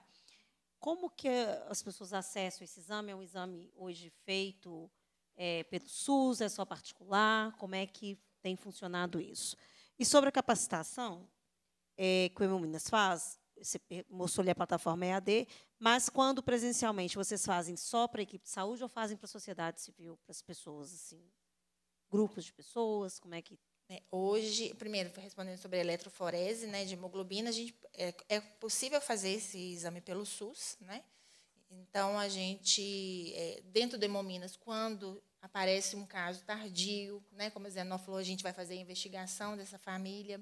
Né? Como curiosidade minha, eu fiz pelos meus meios, e, mas a população pode procurar o serviço público, né, o posto de saúde, e solicitar esse exame, né, explicar e tentar entender. E quem já doou sangue, se por acaso tem o traço da anemia falciforme, ele foi chamado pelo Hemominas para poder ser orientado sobre isso. Né? E, a plata, e o treinamento que a gente faz, a Hemominas ela tem a responsabilidade com, de treinar todas as, as instituições que são conveniadas a Hemominas. Né? Então, em todo o município, né, em todos os municípios do estado de Minas Gerais, existem vários contratos e a gente tem que capacitar esses profissionais é, semestralmente, anualmente, a cada troca desses profissionais com esses, né, é, com foco nesses serviços contratados. Mas em todos os lugares que a gente é convidado, né, nós também sempre fazemos o esforço e o empenho de estarmos juntos é, as, a gente sempre aproveita as oportunidades quando tem que fazer uma visita a uma escola, quando tem que fazer uma visita a uma policlínica, por algum outro motivo, por algum motivo específico de algum paciente, também a gente aproveita esses momentos. Né? Muito importante, né, gente? Na conscientização aqui, durante a fala, mas né, a colocação da Adriana, a gente percebe assim, traços e vestígios altos né, de discriminação com as pessoas que têm a doença falciforme, seja aí com a questão da, né, do vício na morfina, mas também é, ali uma sugestão de tentativa de prioridade ali numa situação já difícil, preconceito, né? Essa questão aí também da, das lesões na pele e mais uma vez muito importante que todos nós da sociedade também, além da equipe médica, de todo o corpo técnico, a importância da gente compreender esse processo. Às vezes a gente encontra pessoas que queixam né, sobre uma dor forte sobre um, algum processo desse que estão sendo dito aqui, a gente não tem nem como encaminhar. Então, sabendo também, a gente pode sugerir, né, procurar aqui um atendimento, ainda que pouco acessível, mas a gente já pode começar a fortalecer isso. Muito obrigada, viu, Adriana? E leva nossos agradecimentos à presidente do Hemominas, à Júnia, pela, pelo, parabéns pelo trabalho que está sendo desenvolvido lá, né, e pela indicação de você estar aqui conosco. Bom, gente, eu quero também aqui agradecer, cadê a nossa assessora que estava aqui da, da Assembleia, que depois vamos localizá-la aí para mim, veio aqui gentilmente, Nízia, obrigada, Nízia, veio aqui a servidora aqui da casa, veio aqui gentilmente procurar saber conosco como é que está a temperatura do ar-condicionado aqui, né, pela informação do impacto que causa né, nas pessoas. Eu falei, pergunta para o Zé, não, eu não, não sei dessas especificidades, mas isso, gente, vai demonstrando o quanto é importante. Né? A Anísia pesquisou ali um pouquinho, ouviu, entendeu que essa questão de temperatura ela interfere, mas a gente não vai, se isso não for falado, se isso não for trabalhado, isso não vai ser percebido. Né? Uma criança, quando ela vê uma piscina, ela quer logo pular lá dentro. Então, se ela não tem a informação, né, a mãe, os pais, a família não vai saber como lidar com aquilo, como conter muitas vezes ali aquele impulso né, da criança de entrar na piscina. Então, que bom que a gente já vai fazendo alguma diferença aqui, tratando esse assunto aqui na casa. Bom, é, agora nós vamos é, nós vamos convidar o Éber Eustáquio Cassimiro. Ele é pai do Daniel, né, que é uma criança, ainda criança, né? Essa criança de 10 anos que tem a doença falciforme. Vou tomar a liberdade aqui de falar um pouquinho do Éber, da minha relação com ele. Nós somos colegas de, de atuação também num projeto social, sabe, Zenó? Lá na Associação para o FMG, uma instituição é, que trabalhava com a inclusão de jovens no ensino superior, né, numa época em que a gente não tinha política pública de acesso ao ensino superior como a gente tem hoje, Enem, né, e outras ferramentas. Então, a gente trabalhava ali para transformar o sonho de uma imensidade de jovens que desejavam entrar para a universidade e não tinham como. Então, para o UFMG, era uma instituição que preparava esses alunos, é, prioritariamente alunos carentes, alunos oriundos do ensino público, é, para que eles pudessem ingressar nas universidades federais. E foi lá que eu conheci o Weber, há mais de duas décadas, viu, Weber? A loja está contando, está todo mundo fazendo conta aí, né? 1998. O Weber, então, era um jovenzinho, professor de biologia, né, extremamente animado, empolgado, que professor de pré-vestibular de cursinho tem que ter também né, essa dinâmica ali para atrair os alunos e conseguir passar o conteúdo para que eles possam também ter sucesso na universidade. E aí, depois, com o passar do tempo, o Weber casou e tal, e aí veio o Daniel. E com o Daniel veio também toda essa trajetória e essa militância também é, na frente aí das pessoas com doença falciforme. E o Weber é o culpado, Zenó, de fazer essa conexão com a gente, né? Porque ainda quando eu era assessora parlamentar aqui na casa, a gente teve algumas interfaces ali, né? O Weber trazendo aqui é, para o nosso gabinete as informações e a preocupação. E tão logo, Zenó, eu assumi aqui como deputada estadual, o Weber me ligou e falou: Ana, tem uma pauta importante para você trabalhar, que é a pauta da doença falciforme. E aí a gente foi se integrando, conversando, né? Fomos ali impactados pela pandemia, o que nos permitiu menos contato, mas não diminuiu a luta nem dele, nem da Zenó, né? E nem das famílias. E hoje, Weber, nós estamos aqui, eu estou assim muito feliz da gente criar essa oportunidade aqui e quero de público também te agradecer, né? é, de nos permitir trazer também esse assunto a ser tratado aqui, nesse espaço importante da política de Minas Gerais, e reavivar o compromisso que você tem, o compromisso social que você tem com a qualidade de vida da nossa população. Então, aproveitar aqui para te agradecer, dizer que sinto muito honrada em tê-lo aqui com a gente, e vou passar para você poder falar um pouco. Né? Aí você vai falar um pouco da sua história, da história do Daniel, da sua esposa. Mas aí, como você é pai, então, de uma criança, conta para a gente sobre o diagnóstico, como que foi, como que é, né, para a maioria das famílias receber esse, esse diagnóstico, esse descortinar dessa realidade. Então, você fala um pouquinho para a gente também dessa, dessa sua experiência e de tudo que você tem acompanhado nesses dez anos aí de, de caminhada. É, boa tarde. É, eu também gostaria de agradecer, eu vou copiá-la, Vossa Excelência, a, a existência de vocês. A sua existência, a existência de Zenó, de Adriana.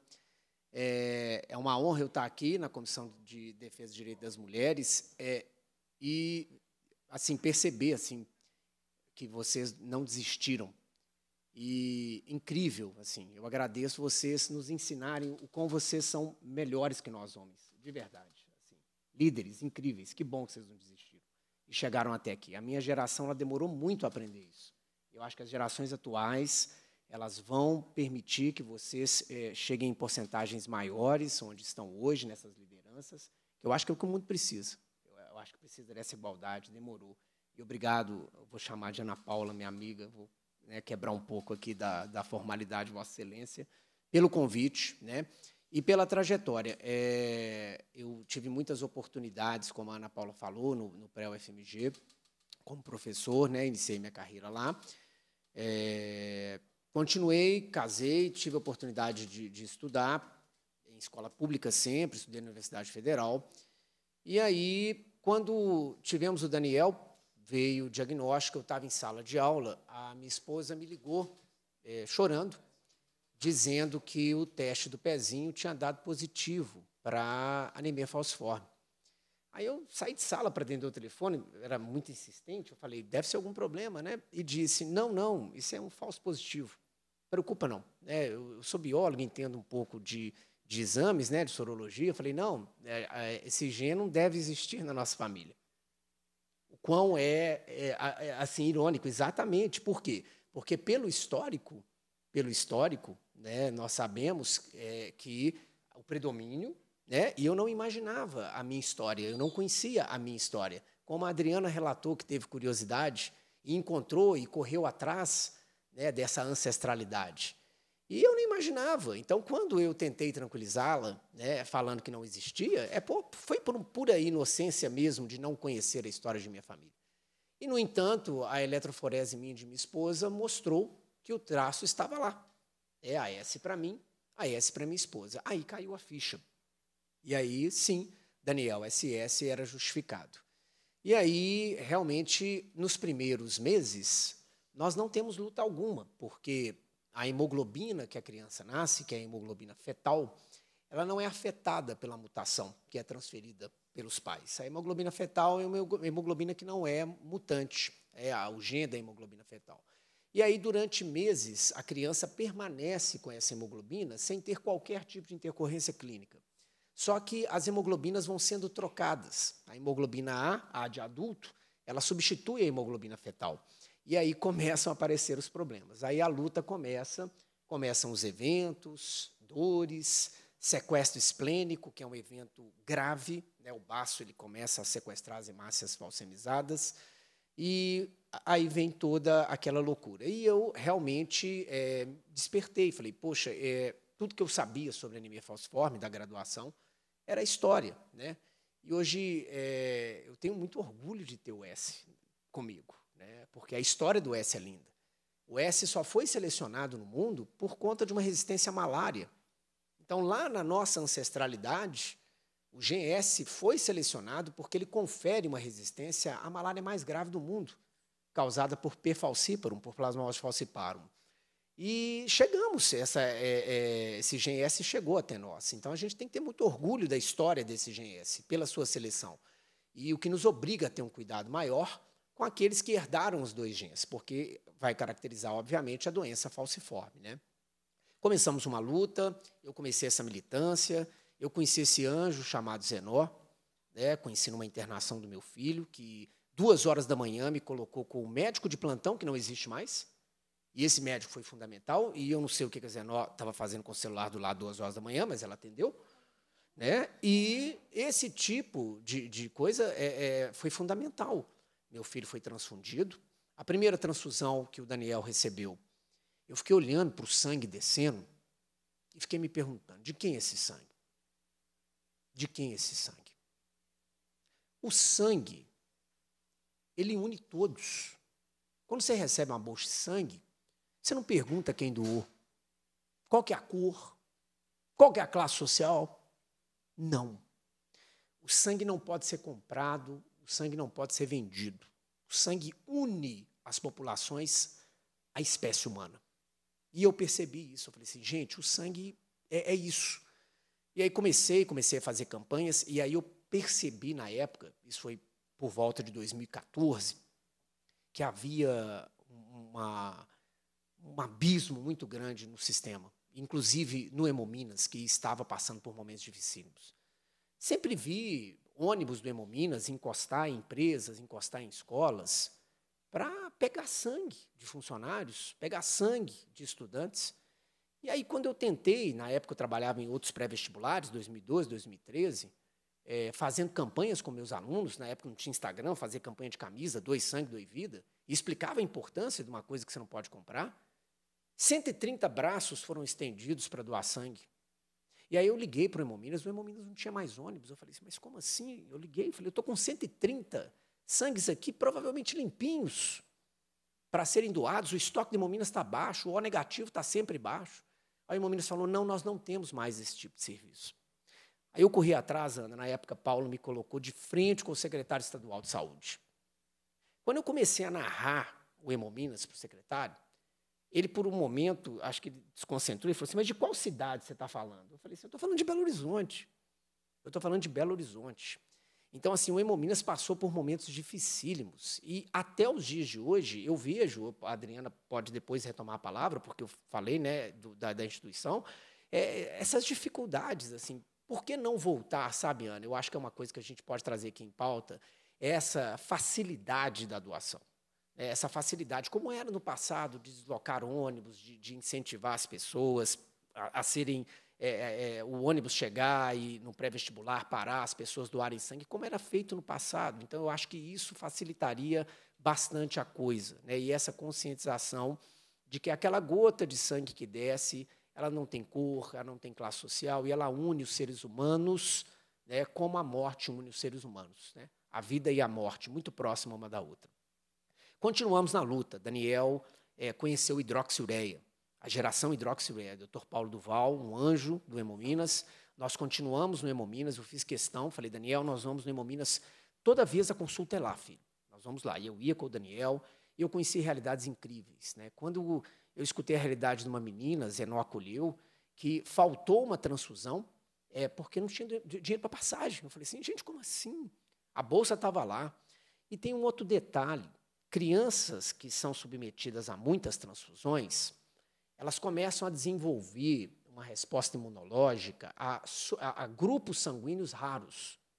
E aí aquele tipo de sangue tem que ser chamado fenotipado. Tipo assim, o Eber, O negativo, então grupo O, RH negativo. Ele tem outros sistemas sanguíneos, DUF, é, MN, enfim. E esses sistemas têm que ser compatibilizados também depois que a criança recebe muita transfusão. Então, isso gera um outro problema, porque a criança que é, faz hipertransfusão, que precisa de sangue de mês em mês, de 15 em 15 dias, ela depende de um doador específico. Então, se o doador estiver doente, se estiver mal, é, é, vai faltar sangue. E essa criança pode ter um AVC, pode ter uma complicação. Então, nós precisamos estimular isso também, quer dizer, esse doador fenotipado. Então, comecei a, a, a batalha. Daniel começou a tomar hidroxiureia e aí veio o milagre. Daniel respondeu bem à hidroxiureia. E aí, conversando nos bastidores com a Adriana, apesar do Daniel ter tido algumas crises de dor, apesar de Daniel ter sido esplenectomizado, ele tirou o baço numa crise de sequestro esplênico, é, Daniel tem uma vida hoje normal, porque ele conseguiu se dar bem com a hidroxiureia. Então, um pouco de fé, porque eu tenho fé, um pouco de, de é, sorte e ciência, porque a hidroxiureia é vida. A hidroxiureia ela tem um me vários mecanismos de ação, vasodilatação, liberação de óxido nítrico, mas ela estimula o quê? Aquela hemoglobina que eu referi lá atrás, hemoglobina fetal, que é a hemoglobina que nós naturalmente paramos de produzir. A hidroxiureia faz com que essa hemoglobina volte a ser produzida. Olha isso, gente. E aí a medicação traz para o paciente que se adequa e tolera uma vida normal. Meu filho tem vida normal. Ele chega nos pronto atendimentos e ninguém fala que ele tem anemia falciforme. E aí, em 2015, 2016, uma nova crise. Faltou hidroxuré no, no, no, na farmácia de Minas e no Brasil inteiro. E nós começamos com vaquinha com hidroxureia. Começamos a correr atrás de hidroxureia. Então, como assim um remédio desse não tem, é, não não não estava sendo distribuído, estava faltando? Graças a Deus, com as gestões, isso foi restabelecido. Hoje, obviamente, a Zenoc vai falar como anda essa distribuição, mas eu gostaria muito, sabe, Ana Paula, e a Zenó eu acho que vai endossar aqui, que a hidroxureia passasse a ser distribuída talvez no Hemominas, porque é um problema sério que eu venho trazendo e, e trazendo de, de, informações de dentro do Hemominas, porque de, vai desburocratizar, vai descentralizar e não justifica, porque o fator 8 para hemominas, para a hemofilia, é distribuído dentro do hemominas. O penvioral, fenoximetilpenicilina, é distribuído dentro do hemominas. O ácido fólico também. Então, por que não a hidroxureia? Iria facilitar a vida dos médicos de hemominas assim, barbaridade. E do paciente. E como eu disse, quando eu falei na época para esse secretário, que é, assustou quando eu falei da realidade do Hemominas, o Hemominas, que é o SUS, como a Zenó falou, que é um braço assim do SUS, talvez as duas pernas do SUS aqui, que mantém as bolsas de sangue, que mantém todo esse tratamento, ele ainda precisa melhorar em vários aspectos. Tem dia que a gente chega no Hemominas, está entupido, tem um médico de plantão.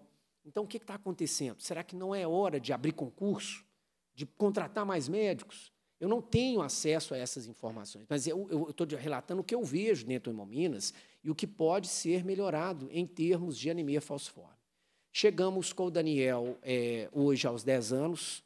Daniel é uma criança feliz, Daniel é uma criança saudável, tem consciência de toda essa luta nossa, tem consciência da importância de doar sangue. Ele lamenta não poder doar sangue. Né? Mas eu falo assim, mas seus pais doam. Seus pais doam, fazem campanha, né? E um dia, quem sabe, você não vai poder doar. Né? Daniel ele não entra no perfil de transplante porque se deu bem com a hidroxureia. Então, é, não compensa o risco é, de fazer o transplante. O transplante ele implica numa imunossupressão severa, é, corre risco de contrair uma infecção.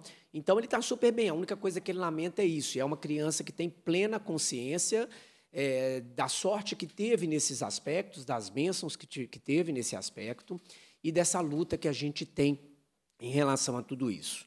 É, como a Zenó falou, é, a realidade é de uma população é, ainda hoje 95% é vulnerável, o Daniel acabou sendo uma exceção disso tudo, né, Zenó? Porque os pais do Daniel tiveram oportunidade de estudar, mas a gente comprou a causa, a gente quer viver isso, a gente quer agradecer essa sorte que a gente teve né, de não depender. No sistema é, particular de atendimento, Daniel já foi é, subestimado com a dor. Daniel, na sua terceira crise álgica, ele teve uma vasoclusão de vasos mesentéricos, que são vasos do abdômen, e a médica insistiu que ele estava manipulando. Colocaram um supositório nele, falando que era é, é, obstrução intestinal por fezes. Quase que ele foi levado para casa, graças aos contatos de Zenó, a gente manteve no hospital, trocamos médico, e era uma crise de dor grave. Né? Então, ele ficou internado, a médica ficou super sem graça por ter subestimado. Muitas, muitas vezes, no pronto atendimento, quando a gente diz que o Daniel tem anemia falciforme, eu estou junto com minha esposa, eles perguntam qual de nós tem anemia falciforme. Então, falta informação mesmo sobre a doença, quer dizer, o básico às vezes. Tudo bem, às vezes não lembrou da, da questão genética, mas mostra o tanto que essa doença não é, às vezes, importante, apesar de ser a doença genética hereditária de maior prevalência no Brasil. A história é linda, eu tenho muito orgulho de ter esse S no meu sangue. A história vem lá da África, vem das nossas origens, vem da resistência à malária, e a gente vai continuar nessa luta, que graças a Deus agora, né, Ana Paula, Zenó, desde sempre, é, estão encabeçando. E é isso, é, é, um pouco da minha história em relação ao Hemominas, em relação a toda essa nossa trajetória. Talvez eu tenha esquecido de algum detalhe, mas estou aberto aí se alguém tiver alguma pergunta a fazer. E mais uma vez, obrigado pela oportunidade de falar e que a gente continue prioritariamente estimulando a doação de sangue. Sangue não se compra, não se vende e une todos. Ninguém que recebe uma bolsa de sangue vai querer saber a cor, vai querer saber a origem, a classe social. É igual. É o que Deus fez igual em todos os povos. A única espécie, a Homo sapiens, é isso que somos. Obrigado, Ana Paula, obrigado, Zenó, obrigado, Adriana, obrigado.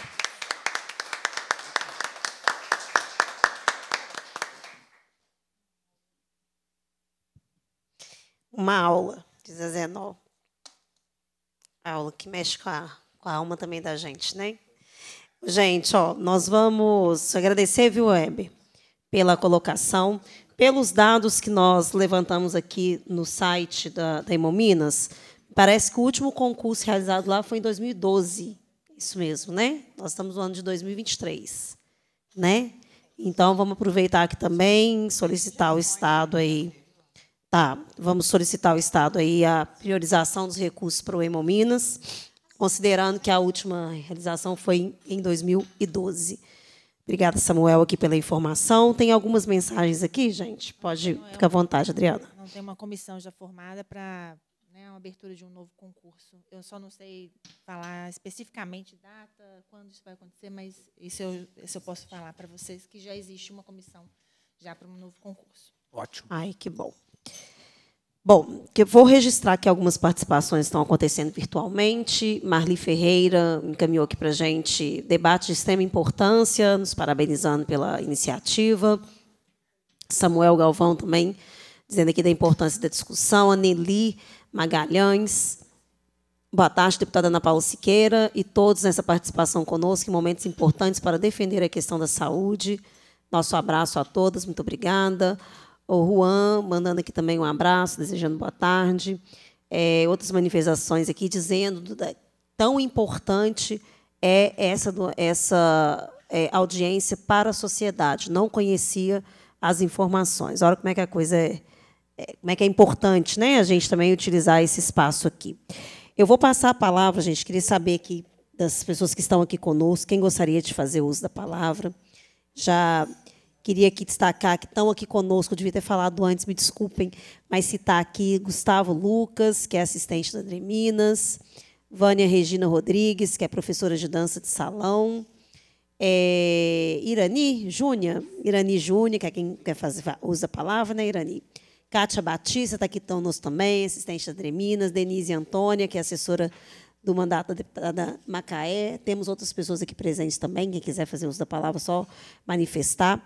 E antes de passar aqui para Irani e depois para Denise, eu queria só te pedir, Zenó, para você contar para a gente, você falou que você foi diagnosticada já né, é, adulta, então conta para a gente como é que foi esse diagnóstico, quantos anos, o que, que te permitiu identificar a doença falciforme? Então, eu sou, hoje sou baianeira, né? Eu nasci na Bahia, mas já moro em Minas há 40 anos, então eu sou baianeira. Desde sempre muito doente, muito amarela, muito raquítica, muitas dores, muitos sofrimentos. E vim embora para Belo Horizonte. Pra... Eu sabia que tinha alguma coisa errada, mas eu não sabia o que, que era. Vi muitos primos morrer, muita gente morrer jovem. E aí, na minha última gestação, eu numa crise álgica no hospital de Lomberes, a médica passou perto de mim assim no corredor e falou comigo assim: é, quanto tempo você sente essa dor? Aí eu falei que desde sempre. Eu acho que eu sei o que, você tem. Pedi um exame de sangue, o eletroforese de hemoglobina. Só que sem tratamento, você chega numa certa idade já com muitas sequelas, né? Com muitas, muitas coisas que você vai carregar para sempre. E eu quis saber, na época, a, a, quando o resultado saiu, é que eu tinha 29 anos e que a gente vivia até 30 anos. Então, eu tinha só um ano né, para mim poder viver. E aí foi logo a hidroxureia, que era a oportunidade. Eu não quis saber de mais nada, eu só queria saber qual que era a possibilidade que eu tinha. E a única possibilidade que eu tinha é a hidroxureia. Para quem não sabe, a hidroxureia é um quimioterápico usado em leucemias.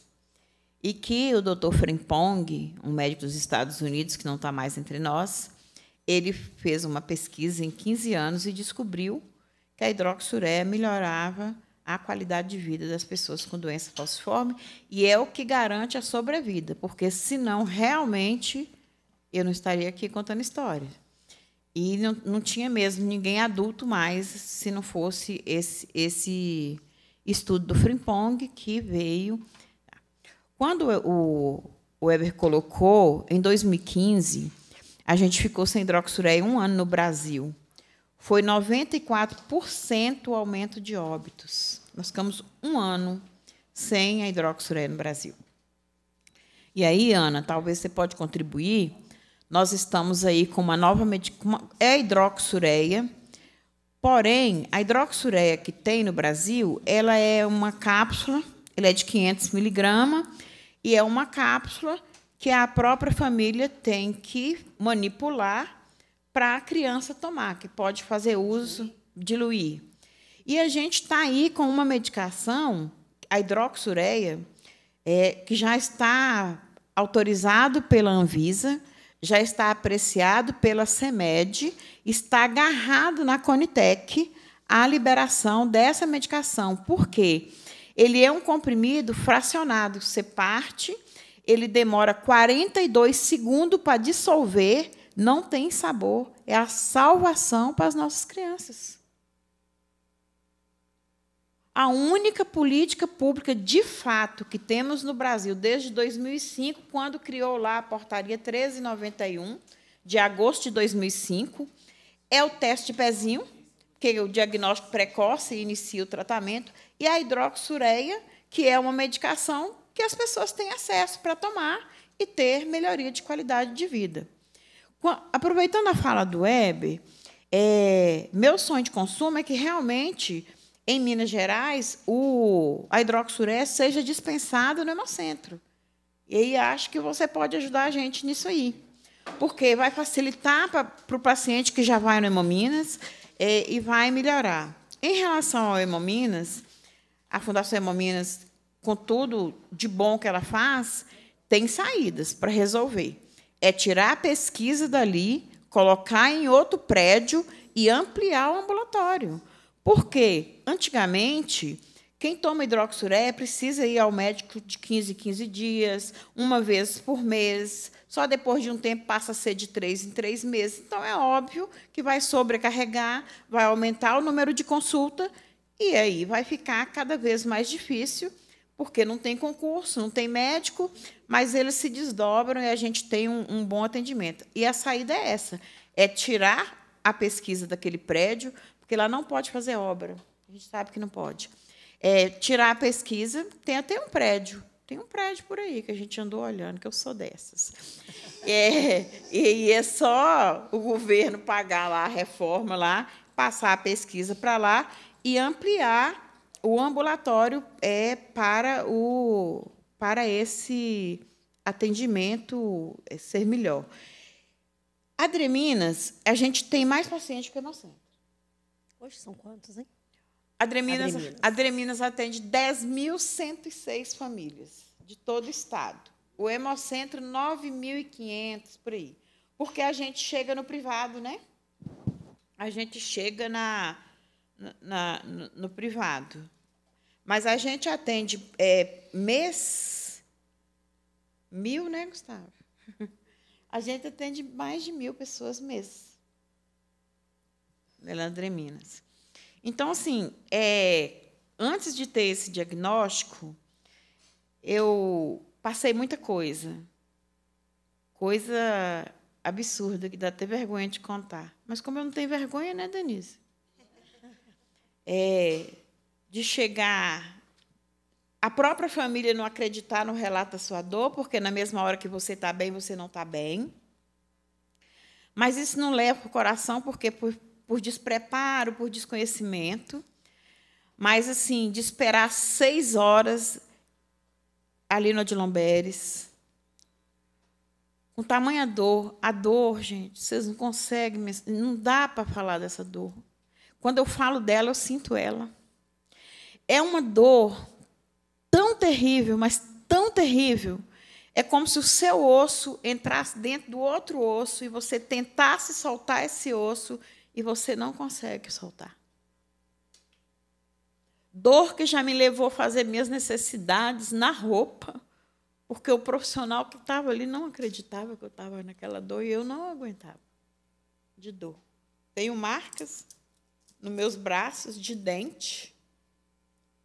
Isso aqui é dente porque eu estava fazendo escândalo no pronto-socorro e eu precisava parar de gritar.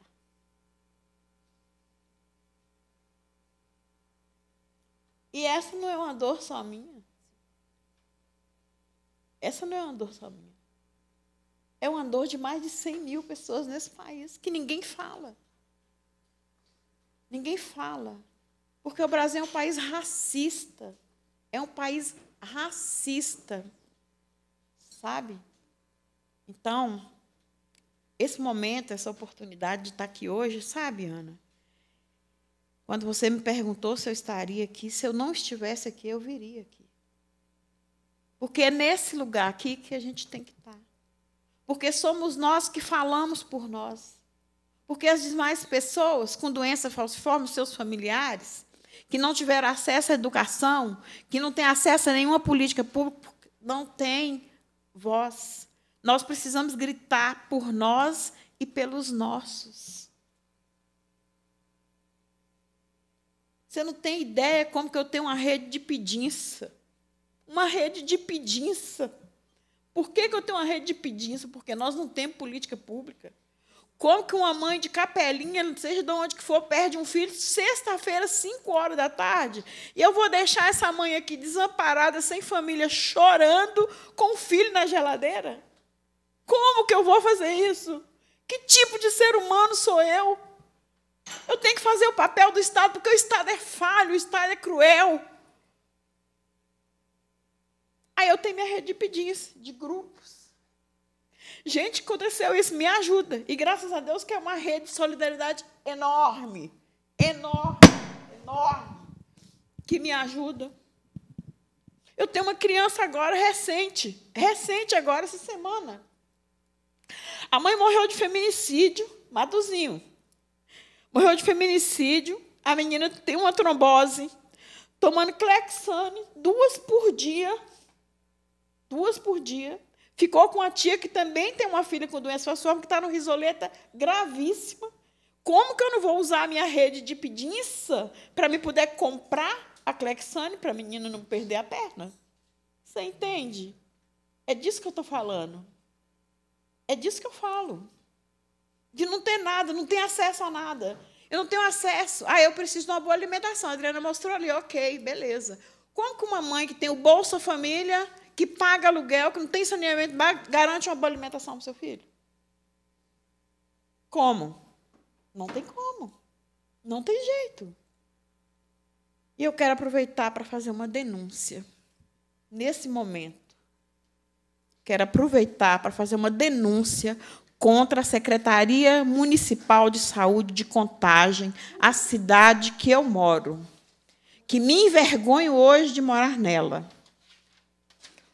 uma adolescente de 18 anos, não vou falar o nome, mas te passo o nome por questões éticas. Em crise de dor, o plantão do hospital negou remédio para essa menina, ela ficou com dor a noite inteira, gritando de dor. O médico foi lá, fez um odol nela porque ela estava agitada. Ela estava agitada porque ela estava com dor. Porque ela estava com dor. Então, eu quero fazer essa denúncia, eu tenho todos os dados, e eu espero, Ana, que você faça algo. Porque não é só ela. Não é só ela, porque uma, uma pessoa ficar lá 12 horas sem pedindo para morrer, porque a gente pede para morrer. A gente não lembra que tem mãe, que tem filho, que tem ninguém. A gente quer morrer. Porque a gente quer ficar livre daquela dor. E o médico vai lá e dá um oldol para a menina, porque a menina estava agitada. Porque a menina estava agitada. E aí isso é, é o que chega e o que não chega. E o que não chega. E o que não chega. Então, quando eu falo da dor, é da dor da vergonha mesmo. Mas é essa dor que não cura, sabe? Que a morfina não vai tirar. E esse papel que eu assumi enquanto cidadã que sou, defensora dos direitos humanos, que enquanto Deus permitir que aqui eu esteja, é minha bandeira. É minha bandeira, porque nós não somos a doença falciforme, nós somos pessoas, sujeito de direito, como qualquer outro cidadão. E eu não vou me calar em lugar nenhum por nada e nem por ninguém. Não vou me calar. Porque eu posso falar de carteirinha, que eu sei o que minhas 10.106 famílias de Minas passam. Quem são, como estão, quantos estão internados, por que, que internou, eu sei. E do Brasil também, eu sei. Então é muito pior do que vocês possam imaginar. Mães que chegam com filho com, com, com símbolo, mão e pé, a criança menor, a crise muito na mão e no pezinho. E o médico chama o conselho tutelar porque a mãe maltratou a criança. É, é disso que eu estou falando, sabe? Eu estou falando de uma doença crônica, degenerativa, autoimune, e que o racismo invibializa. Ninguém sabe nada da doença falciforme, não quer saber. Ninguém sabe quantos que morrem, como que foi. Na pandemia, eu tive que brigar para o Ministério da Saúde colocar a gente no grupo de risco, porque a gente no PNI ficou de fora. Eu tive que brigar para a gente entrar, porque nós somos do grupo de risco. E eu brigo muito. Esse roxo na minha mão, que todo mundo pode ver, é de tanto dar murro em mesa de secretário.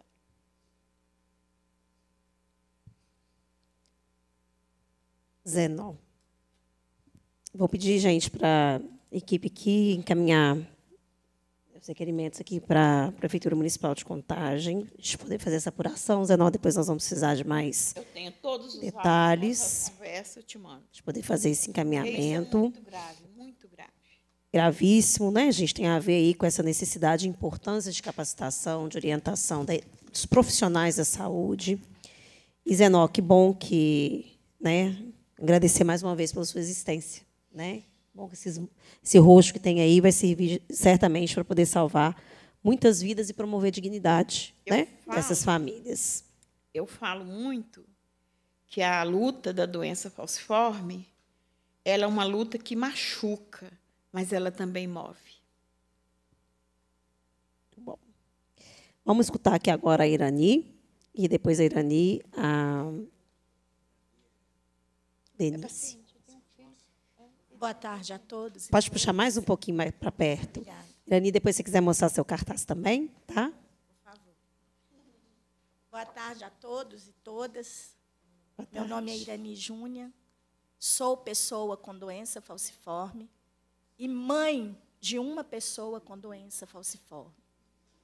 Hoje, com 51 anos de idade, aos 40 anos de idade, eu tive que abandonar o mercado de trabalho porque as necessidades de saúde minha e do meu filho eram inadmissíveis nas empresas privadas. E eles não me atendiam e não suportam uma pessoa que tem que apresentar N atestados médicos por ter um filho com doença falciforme e também ter as suas necessidades por ser uma pessoa com a doença falciforme. Nós estamos numa comissão de direitos da mulher. Eu sou mulher negra com doença falciforme. Eu estou aqui para falar das das nossas necessidades de direitos que somos pessoas, cidadãos de direito, que necessitam de leis para poder sustentar uma família. Eu sou mãe solo. Já passei por momentos em que eu tive que ficar na UPA, tomando oxigênio, numa máscara, vendo meu filho do meu lado, também tomando a mesma medicação. E dar a mão um para o outro e falar: segura, filho, porque nós vamos vencer. Então, quando cada um compartilha aqui e conta os seus sofrimentos e, e passam as suas, as, as, suas experiências com a doença, eu, parece que eles entraram dentro da minha casa e viram tudo que eu estava passando. Quando a Zenó vai falando das suas experiências, sempre eu choro, porque parece que ela está falando da minha vida, lendo um livro da minha vida. Sim. Desde eu sou uma mulher com 51 anos, tenho diagnóstico tardio. O diagnóstico veio a partir da primeira gestação. Depois da primeira gestação, que eu tive outra crise nas pernas, de, de crise de dor, crise álgica, e fui para o hospital público. Já cheguei lá de cadeira de rodas e fui atendida num hospital na Avenida Barbacena, São José, por um médico estagiário, que falou assim: Eu acho que eu sei o que você tem e me diagnosticou aos 26 anos. E o meu terceiro filho, que é o filho com 14 anos, ele veio com doença falciforme, que foi de uma segunda relação, e eu não sabia da informação genética. Quando eu cheguei no, na maternidade do Onde Lomberes para ter o meu terceiro filho, a médica virou para mim e falou assim: Ah, o pai dele está ali, é branco, né? Fica tranquila, ele não vai ter a doença.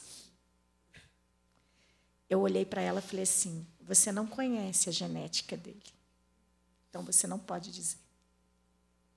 Porque não depende somente de mim, da mãe ou somente do pai. Depende da informação dos dois genes para ter um filho com doença falciforme. Eu e Zenó caminhamos juntas há muito tempo, né, Zé? desde a fundação da Dremines, desde a segunda etapa da Dremines. E eu queria ter caminhado mais com ela, ela sabe disso. Mas as necessidades com um filho menor, infelizmente, nos trouxe esse afastamento. Me lembro também de um atendimento que eu tive com meu filho no CGP. Pouco tempo ele teve uma internação que durou quase 10 dias, você sabe disso. E Deus usou a Zenó para nos abençoar. Eu liguei para ela e falei assim: Zenó, Joel está com uma crise álgica que eu já dei de pirona um grama. E ele não para de reclamar. E é no fêmur. Então, assim, no fêmur, eu não poderia pegar ônibus com ele, eu estava em contagem, eu moro em contagem. E aí, ela, eu queria que você me falasse alguma coisa de referência para criança com doença falciforme, hospital de referência. Ela, CGP, em contagem tem nada não. CGP, corre. Eu não precisei falar que eu não tinha dinheiro para o transporte, porque eu não podia pegar ônibus. Ela falou, não, eu estou te mandando um pix, você corre com ele para o hospital agora. Quando chegamos no hospital, ele já foi classificado laranja e ele não voltou mais para a espera lá fora. Já foi recebido na emergência, internado, e já recebendo as medicações, que era morfina, aquela coisa toda. E, infelizmente, passando por aquele processo, mas ele já está em casa, está melhor, graças a Deus. Mas eu queria contar de uma experiência que eu tive também no CGP, de um médico, alguns anos atrás, eu cheguei com o Joel com febre, a gente recebe a informação que a primeira febre é hospital, a primeira febre, você não fica esperando três dias, né? Então, a primeira febre é hospital, então tem que sair de contagem com ele para o hospital. Quando chegou no hospital, fiquei aguardando aquele tempo todo, um médico vira para mim e fala assim: o seu filho não tem doença falciforme. Ele tem o traço. Isso é só uma febre. Isso é só uma gripe. É um vírusinho. Vou te dar uma receitinha aqui de um antigripal, a senhora vai voltar para casa com ele. Eu fazia parte do conselho daquele hospital, naquela época. Eu saí daquele consultório, não discuti com ele e fui procurar a diretoria do hospital imediatamente. Falei: não aceito voltar com meu filho para casa sem, no mínimo, um hemograma. Eu quero que pesquise essa febre agora. Por favor. E eles me fizeram, falaram assim: não, você vai voltar para o consultório médico e nós vamos exigir que ele siga o protocolo do Ministério da Saúde. E aí foi rastreado e encontraram, ele estava com, já estava com catapora. A primeira febre já era manifestação já. E o médico achou que era uma gripe. Mas aí ele foi tratado, graças a Deus, voltamos para casa, né? Tudo bem. Eu trabalhei na Secretaria Municipal de Saúde de Contagem como funcionária pública lá no sistema por cinco anos. Eu era é, auxiliar de serviços gerais. E eu tive que pedir exoneração do cargo. Isso está entalado aqui até hoje. Eu gostaria de usar o espaço de direito para poder falar. Por que, que eu pedi exoneração do cargo? Porque o médico falava comigo: ou você para de trabalhar com um produto de desinfecção que você usa, ou você vai morrer. E eu levava isso para os meus superiores, porque eu passava mal constantemente dentro da saúde, eu passava mal sempre, a ponto dos colegas de trabalho terem que me socorrer e me levar para o hospital. E eles não faziam nada. Eu tive que pedir exoneração do meu cargo para não morrer e para poder cuidar dos meus filhos. Então, assim, é gritante é gritante. E hoje a gente passa por necessidades, sem BPC, sem LOAS, a gente passa por, é, por questões de, de necessidades mesmo, porque não temos uma lei que nos, que nos ampara de fato. Meu filho, além de ter anemia falciforme, ser uma pessoa com doença falciforme, ele é TDAH grave e TOD grave. Ele toma quatro tipos de medicações neurológicas, psiquiátricas. E, além da anemia falciforme, a gente tem outros diversos aí, né? Que precisam ser considerados. Eu agradeço o espaço de fala. Eu agradeço o Zenó por sempre lutar pela nossa causa. Agradeço a deputado por estar aí nos dando esse espaço de fala. Obrigada.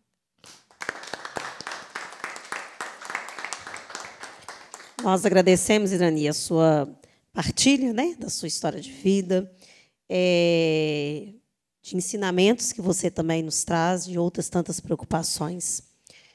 É, precisa a gente registrar. Você, é por ter tido um diagnóstico né, antes do seu filho, você teve a condição de ir até a diretoria do hospital e exigir um exame. A maior parte da nossa população não tem condições de fazer isso.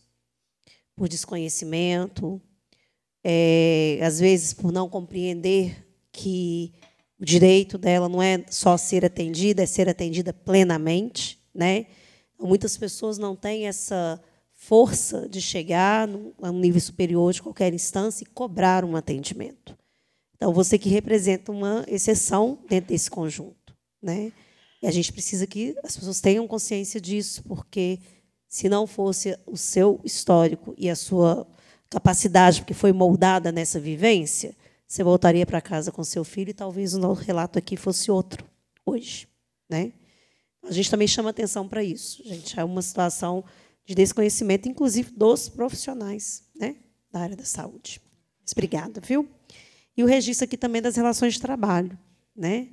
É, não só por você estar dentro de um espaço da saúde, numa prefeitura, mas também outras pessoas passam em outras instâncias, em outras relações de trabalho. Então, é preciso a gente saber, a gente ter essa consciência de que a oportunidade que nós temos hoje de falar sobre a doença falciforme aqui na Assembleia é para que mais pessoas possam conhecer e ter essa sensibilidade de respeitar a necessidade e a especificidade do outro. Né? Como assistente social que sou, preciso reafirmar que todos nós temos especificidades que precisam ser também identificadas, reconhecidas e respeitadas em quaisquer espaços por onde nós estamos. Obrigada. Viu? Eu, antes de passar a palavra aqui para a Denise, Denise Antônia, que está aqui representando a assessoria do gabinete da deputada Macaé Evaristo. Eu queria também destacar que nós temos trabalhado, aqui já foi falado muito sobre a questão da transversalidade das políticas, a necessidade de um olhar ampliado sobre as questões. E há umas duas semanas atrás, Zé, nós fizemos aqui é, o lançamento e a inauguração de uma um novo passo aqui no Estado de Minas Gerais, que é a criação do Estatuto da Igualdade Racial, uma iniciativa mobilizada pela deputada Macaé Evaristo, numa reunião de força das quatro deputadas negras aqui da, da Assembleia. E nós estamos trabalhando essa perspectiva da elaboração do Estatuto da Igualdade Racial, numa perspectiva também da interface com as políticas, porque tratar a questão racial não é tratar apenas na perspectiva da política de direitos humanos, a gente precisa percorrer a saúde, desenvolvimento econômico, a educação, né, o emprego e renda, as políticas de prevenção para a nossa juventude. Então, nós estamos fazendo esse trabalho amplo, né, que vai percorrer todas as políticas, para que, no ano que vem, a gente consiga apresentar para o Estado de Minas uma proposta de uma elaboração robusta do Estatuto da Igualdade Racial, considerando todas as perspectivas das políticas públicas e priorizando ali o olhar sobre, na nossa perspectiva, na perspectiva da população negra. Eu queria aqui, é, de pronto, dizer que essa é uma iniciativa da deputada Macaé e queria, é, Denise, que você já que a representando, leve a ela né, o nosso é, respeito, a nossa, o nosso reconhecimento desse importante trabalho que ela desenvolve hoje aqui conosco na casa, né, e desse trabalho que a Zenó aqui reportou também do trabalho nas UMEIs, tratando com prioridade essas crianças. Né? Então, já leva a ela aí o nosso, nosso agradecimento, nossa saudação, e vou passar para você fazer aqui né, a, a palavra e usa a representação dela. Obrigada, é, deputada Ana Paula, pessoa muito querida. Quero dar um grande abraço na minha companheira de luta, aí, Zenó. É, saudar pai do, é, pai do Daniel, o Éder, né? e a Adriana. É, Bom, eu estou aqui representando a assessoria do mandato da deputada Macaé Varisso, mas antes eu acho que é importante fazer algumas referências aqui. Eu sou profissional de saúde há 37 anos, agora estou aposentada, e a minha militância foi na luta da saúde da população negra por muitos anos, né? E tenho aí me emociono sempre com a luta das pessoas com anemia falciforme. A gente tem que respirar fundo, tomar um golinho de água, né, Zenor? É, Denise é minha mestra de vida, ela sabe disso. Mas eu acho muito importante aqui saudar o EFIL, porque foi um movimento em 1988 que defendeu né, a não comercialização do sangue, que aí o Éder faz essa referência aí com muita ênfase, né? Então acho que tem toda essa trajetória aí dos hemofílicos, enfim. Mas foi na, na, nesse movimento, no movimento né, que eu atuei por muitos anos, a Ana Paula, a Ana Paula também tem essa referência, que a gente, na década de 90, né, lutou muito pela aprovação do Plano Nacional de Anemia Falciforme. E uma luta eterna, né, porque a saúde da população negra, a gente tem várias, várias, é, várias doenças né, que é prevalente dessa população em especial, ou não, não queria que fosse especial, né, gente? Mas a anemia falciforme é uma delas. Então, é, é, é uma luta árdua, é uma luta árdua que as pessoas precisam compreender. Compreender o que é ter um estudante com anemia falciforme, o que é ter um trabalhador com falciforme, né, com a doença falciforme. Mas é isso mesmo, a, a, a deputada Ana Paula, junto com as parlamentares negras, lançaram agora no dia 30, a agenda do Estatuto da Igualdade Racial. E, e ele é um marco importante para nós, que, evidentemente, vamos voltar a discutir aqui nessa casa sobre anemia falciforme, uma mesa da saúde da população negra, onde uma das doenças é a anemia falciforme. Então, isso é, é relevante para nós na construção do Estatuto da Igualdade Racial. É, mas eu acho importante também justificar a ausência da deputada Macaé nessa audiência. Ela está numa em agenda em Brasília. Né? Ontem ela teve no, no, no MEC, hoje no Ministério da Saúde. Mas no dia 29 do 5, junto com assessoria, apoio, debate, discussão, quadreminas, a gente protocolou aqui um projeto-lei que 816/2023 é, e evidentemente nós vamos contar de mãos dadas aí com as nossas parlamentares negras, em especial a deputada Ana Paula. Esse projeto ele institui a política estadual de atenção integral à pessoa com doença falciforme e outras hemoglobinopatias. Né? Então, a gente vai precisar construir essa agenda, é, sugestão, viu, deputada Ana Paula? Essa agenda seja uma construção que a gente possa construir no bloco Democracia para Valer, é, que é a aprovação do projeto Lei 816, que institui a política estadual de atenção à pessoa anemia falciforme no estado de Minas Gerais.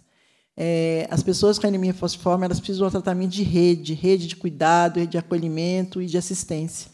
E essa ausência dessa rede é que cria essa situação angustiante, sabe, delicada, triste, melancólica para todos nós. O tratamento é muito delicado, o sofrimento das pessoas são muito grandes. Então, já é tempo, não é de hoje, que a gente discute com o Estado de Minas Gerais a importância de instituir essa política. O marco legal que eu trago aqui para a gente refletir é de 1990.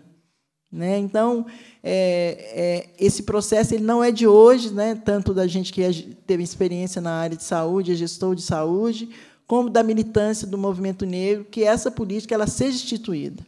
O Estado de Minas Gerais não tem essa política, não tem esse atendimento. Por isso que sempre Dreminas está com problema com a cidadezinha do interior, que é aqui e acolá, e não tem. Então, precisa, o Estado precisa debruçar sobre isso, o governo Zema precisa parar de privatizar os equipamentos públicos do Estado e pensar mais, quer dizer, não vai pensar, porque o conceito que ele tem é privatista, mas pensar em saúde, de fato, que possa atender, acolher e cuidar da população.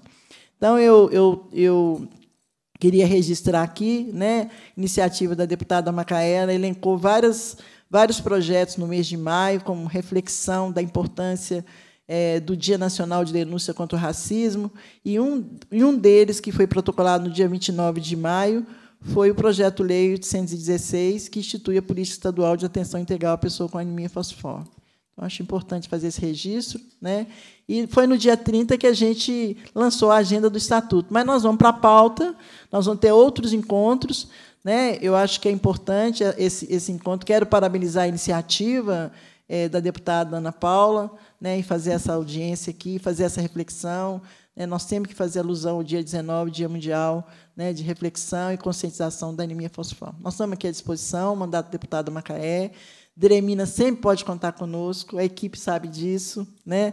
A Zenó também tem uma equipe bacana de companheiro, de companheiros, de solidariedade, de militância e de pessoas que gostam de pessoas. Grande beijo, Zenó. Um grande beijo, equipe da Dreminas.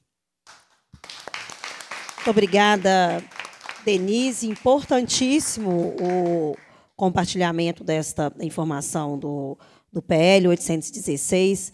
Já me coloco aqui de prontidão para poder fortalecer o debate, a tramitação do projeto aqui na casa. De fato, é uma política é, importante.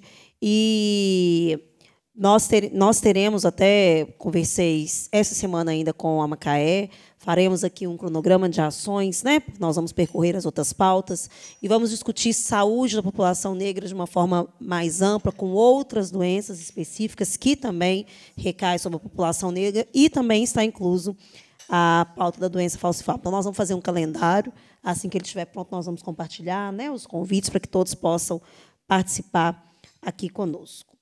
É, indago se mais alguém gostaria de fazer uso da palavra. A senhora é a Vânia.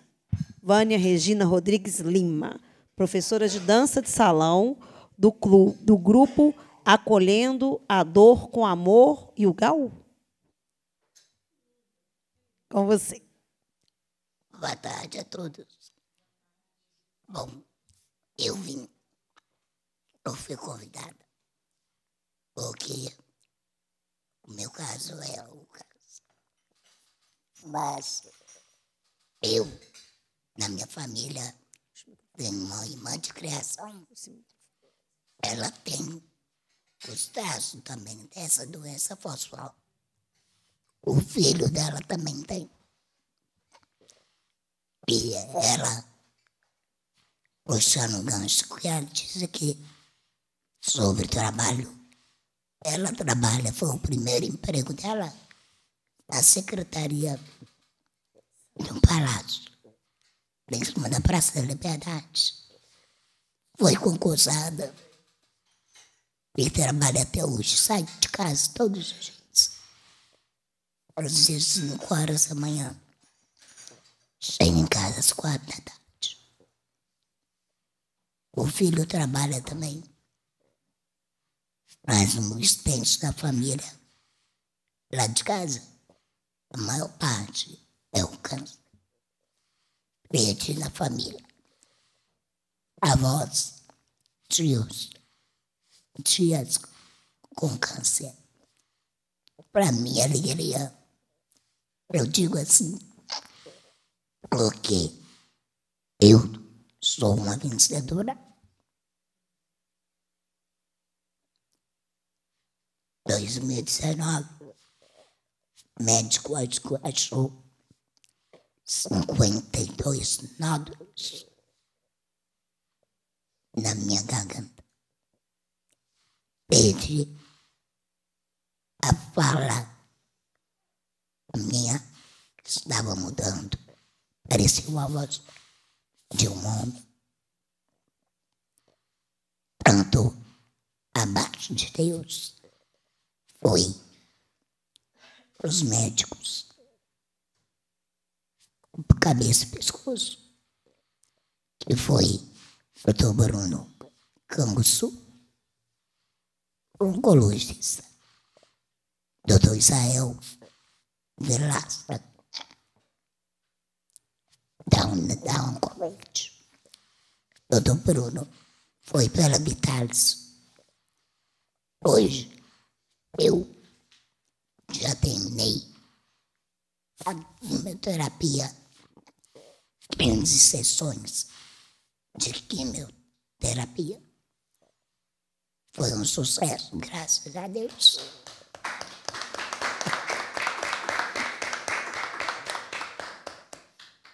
E 33 rádios terapia também.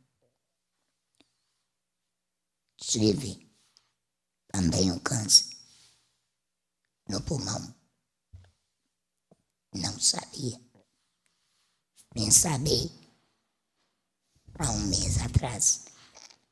Porque eu sou curiosa. Eu sou do mundo. Mundo do povo. Por que, que eu sou do povo? Trabalhei com crianças, idosos, jovens, tudo na dança. Dança de salão. Hoje, tiraram o meu médico, cabeça, pescoço, porque trocaram o plano. Hoje eu estou no SUS. Com o doutor Lourenço. Faço parte do grupo do GAL e acolhendo a do combo. Lá no GAL faço um amor. A salão, bolero, tambo, valsa, todos os ritmos, samba.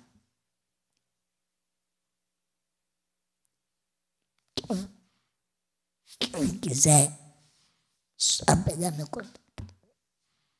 Não.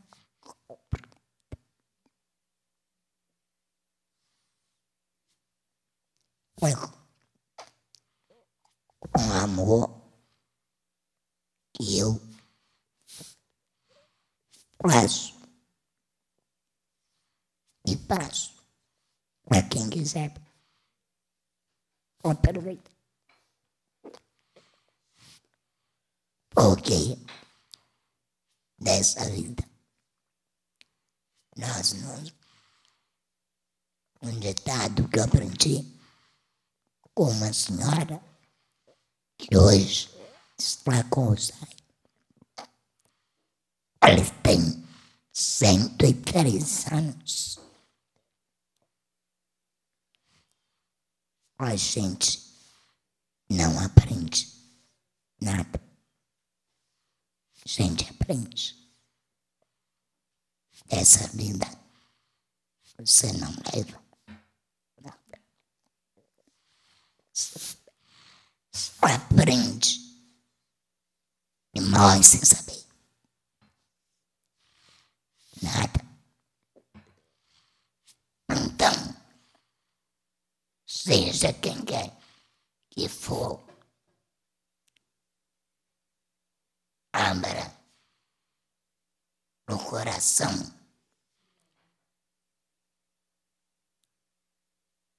Abraça essa causa, seja qual for. Porque o mundo vai ser. A gente só tem que agradecer a Deus. Anda, pai. Essa deputada me viu na quarta-feira. Não.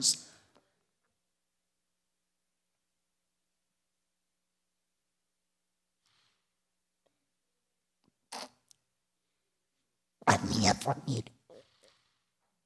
Eu só tenho que Deus. E os demais que abriram o espaço. Ou acolhendo a dor com amor. São todos a essas espécies de câncer ou doença. Todos vocês. Aproveitem. Que para Deus nada é impossível. Peço vocês que a vida nada. Se leva. Leva-se. Um pouco, que é muito, que nós aprendemos. E morremos sem saber nada. Agradeço a minha mãe, minha tia, minha cunhada, que andou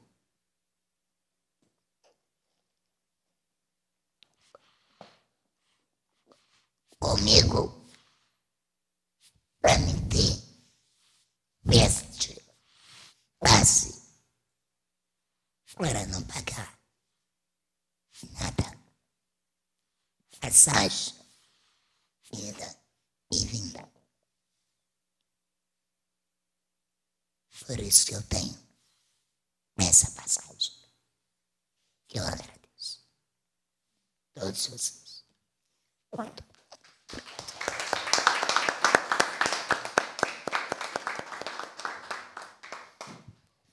Vânia Regina, obrigada pela sua presença aqui conosco, pelo seu testemunho, por compartilhar com a gente a sua vida, as suas lutas, celebrar as conquistas. Você fez agradecimento aí a três mulheres importantes, né? Três mulheres importantes na sua caminhada. E essa semana, Vânia, é, além da, dessa audiência que nós estamos hoje aqui, já caminhando, inclusive, para o encerramento, eu participei de uma outra audiência pública na comissão que trata sobre o câncer aqui no estado de Minas Gerais. E a pauta ela era justamente o acesso ao transporte público para que as pessoas possam se tratar. E a enormidade de pessoas no nosso estado que interrompem o tratamento porque não têm condições de transporte, né? Interrompendo a senhora. Nesse dia, eu vim porque eu entrei. Eu comprei ao espaço modo de expressão. Não é nem comprar. Eu vim falar pelas outras que estavam presentes no dia na quarta-feira, no dia 14. Vim falar por elas se eu tenho, se eu pude ter, porque os outros. Pois é.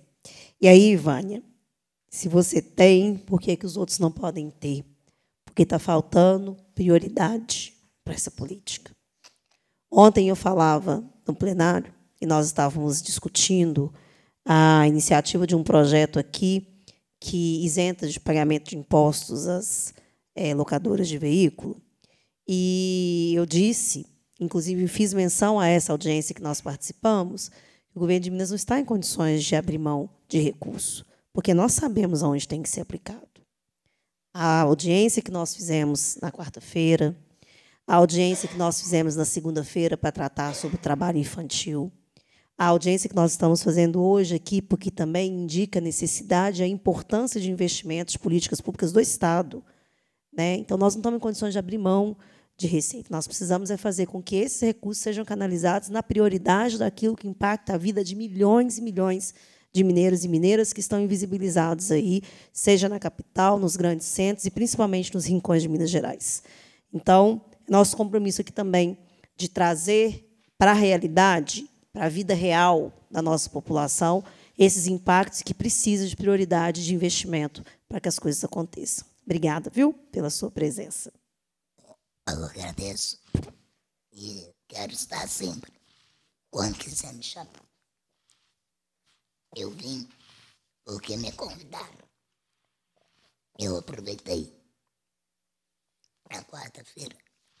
Aí eu aproveitei a oportunidade. Muito obrigada, viu, Vânia? Eu agradeço. Bom, gente, é, caminhando aqui agora para o encerramento, eu vou fazer a leitura aqui de alguns requerimentos que nós estamos é, retirando aqui da nossa audiência, serão apreciados na próxima reunião da comissão, por falta de quórum aqui de deputadas, e também deixar aberto aqui, caso seja identificado a necessidade de mais algum requerimento, ainda há tempo da gente produzir. É, estamos aqui, então, requerendo que seja encaminhada à Secretaria de Estado de Saúde pedidos de providências para retomar o serviço de plantão telefônico que era disponibilizado é, no Hemominas, que consistia em um canal ininterrupto que funcionava 24 horas por dia, nos sete dias da semana, e que era disponibilizado aos médicos de todo o Estado, que orientava o atendimento especializado que necessita ser dispensado aos pacientes acometidos da doença falciforme. Requeremos ainda também que seja encaminhada à Secretaria de Estado de Saúde pedido de providência para elaborar o protocolo de atendimento específico a ser seguido pelos profissionais de saúde de todo o Estado para o atendimento aos pacientes acometidos pela doença falciforme, considerando as especificidades dos sintomas da doença e a rapidez com que o paciente precisa ser atendido. Requeremos também que seja encaminhado ao Ministério do Desenvolvimento e Assistência Social, Família e Combate à Fome e à Procuradoria Federal dos Direitos do Cidadão do Conselho Nacional do Ministério Público pedidos de providência para que a doença falciforme passe a estar presente no rol das enfermidades que garantem ao portador o recebimento do benefício da prestação continuada, BPC. Requeremos também que seja encaminhada à Secretaria de Estado de Saúde pedidos de providências para que o tratamento da doença falciforme por meio da hidroxureia passe a ser fornecido diretamente pelo Hemominas, com vistas a desburocratizar o fornecimento que atualmente é realizado pela Farmácia de Minas, né, atendendo aqui essas ponderações feitas. Requeremos ainda seja encaminhado ao secretário de Estado de Saúde pedido de informações sobre o cronograma do concurso público para repor os quadros servidores do Hemominas, haja visto que o último é, concurso foi realizado em 2012. Requeremos ainda é, seja encaminhado ao Ministério da Saúde pedido de providências para acelerar a inclusão do medicamento crisalizumab, utilizado no tratamento da doença falciforme no Sistema Único de Saúde, haja vista que o medicamento já passou por trâmites da Agência Nacional da Vigilância Sanitária e foi aprovado para sua utilização. Esse nós não vamos apresentar? Pode falar no microfone para a gente poder. A AME, que é a Anvisa da Europa, ela tirou ele do rol. Então, no Brasil também não vai poder. É, gostaria de solicitar um encaminhamento é, à Conitec é, na liberação do, da hidroxureia fracionada para uso de, de criança.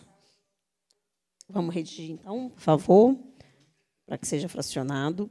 E eu indago aqui à mesa se gostaria de mais alguma consideração, Adriana. Eu gostaria de pedir também outro requerimento para que o, o Estado tirasse a pesquisa do prédio do Hemominas para ampliar ambulatórios de atendimentos, né? tanto prédio fechado que o Estado tem aí. O Éder também tem mais encaminhamento. Pode falar, o, o Eber. Se Vossa Excelência me permite, só reforçar é, a volta, talvez, eu não sei como isso seria feito atualmente, mas para facilitar uh, a questão da doação de sangue. Como eu citei, antigamente os ônibus eles iam até as instituições, o Hemominas ele contava com ônibus, eu não sei como é que é o nome, ônibus é, de doação, é, coleta móvel, obrigado. Então, antigamente tínhamos a coleta móvel, e como eu exemplifiquei, é, nós tivemos um momento com 130 doadores, né, 130 braços estendidos 130, 130 possíveis ali, né, doadores de, de sangues raros, e a maioria foi desestimulado pelo deslocamento mesmo, de ter que deslocar, de ter que ir em Hemominas. Então, assim, é, é um sonho voltar com essa coleta móvel para visitar escolas, visitar instituições, instituições públicas. Eu sei que, por exemplo, Polícia Militar, Exército, Bombeiro, quando é necessário, eles vão nos salvar lá, vão salvar vidas. Mas eu acho que a coleta móvel seria muito interessante, Vossa Excelência. Muito obrigado. Sim, Heber, vamos então pedir aqui para que faça o acréscimo desse requerimento. Posso complementar? Ou é, é só para. Foi recém-chegado de novo um ônibus de coleta móvel, né? foi entregue pelo Estado pelo, e já tivemos já a primeira doação feita nele.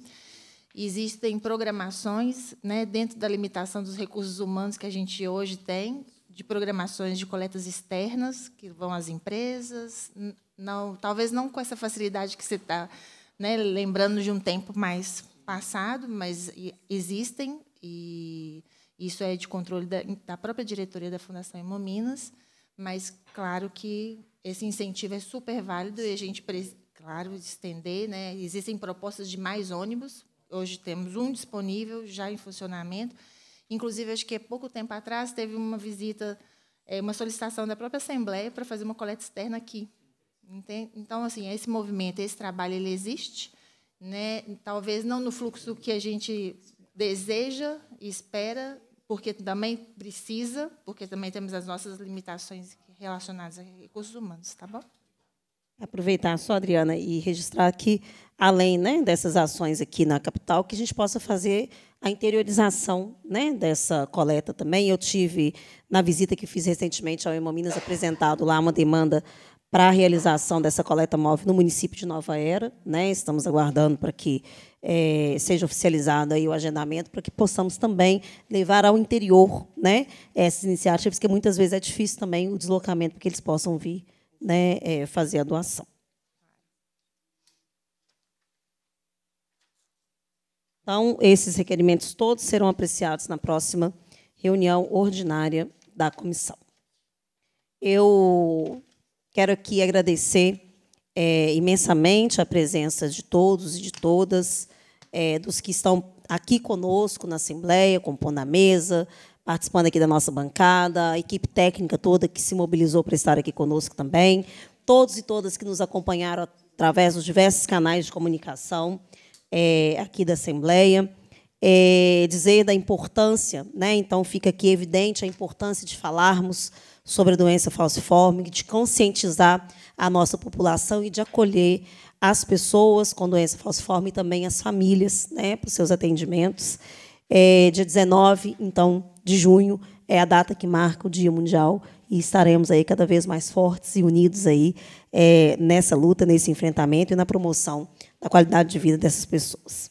Cumprida a finalidade da reunião, a presidência agradece a presença de todos os convidados, do público presente, convoca os membros da reunião da comissão para a próxima reunião ordinária, determina a lavratura da ata e encerra os trabalhos. Boa tarde a todos. Espera aí, reabre, por favor.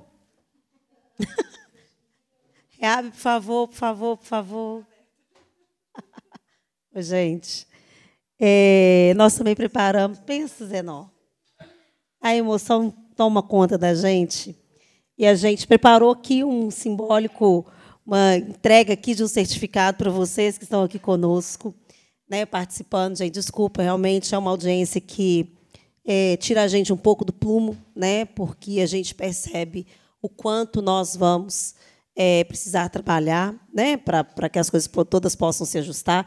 E eu quero aqui entregar um certificado agradecendo a participação de vocês e reconhecendo a importante atuação é, do Dreminas, do Hemominas e também das famílias representadas aqui por você, Hebe, nesse trabalho tão importante tá, de conscientização, de acolhida e de amparo a essas pessoas.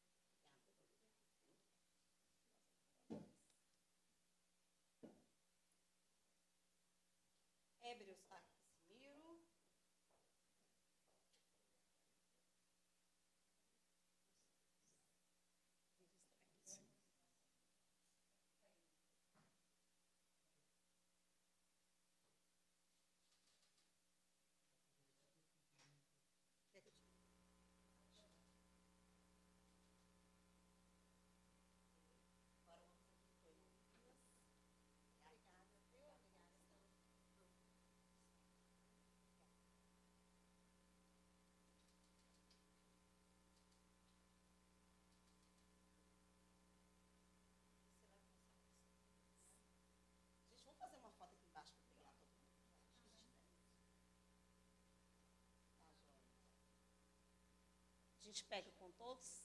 Vamos fazer a foto aqui? Vocês todos?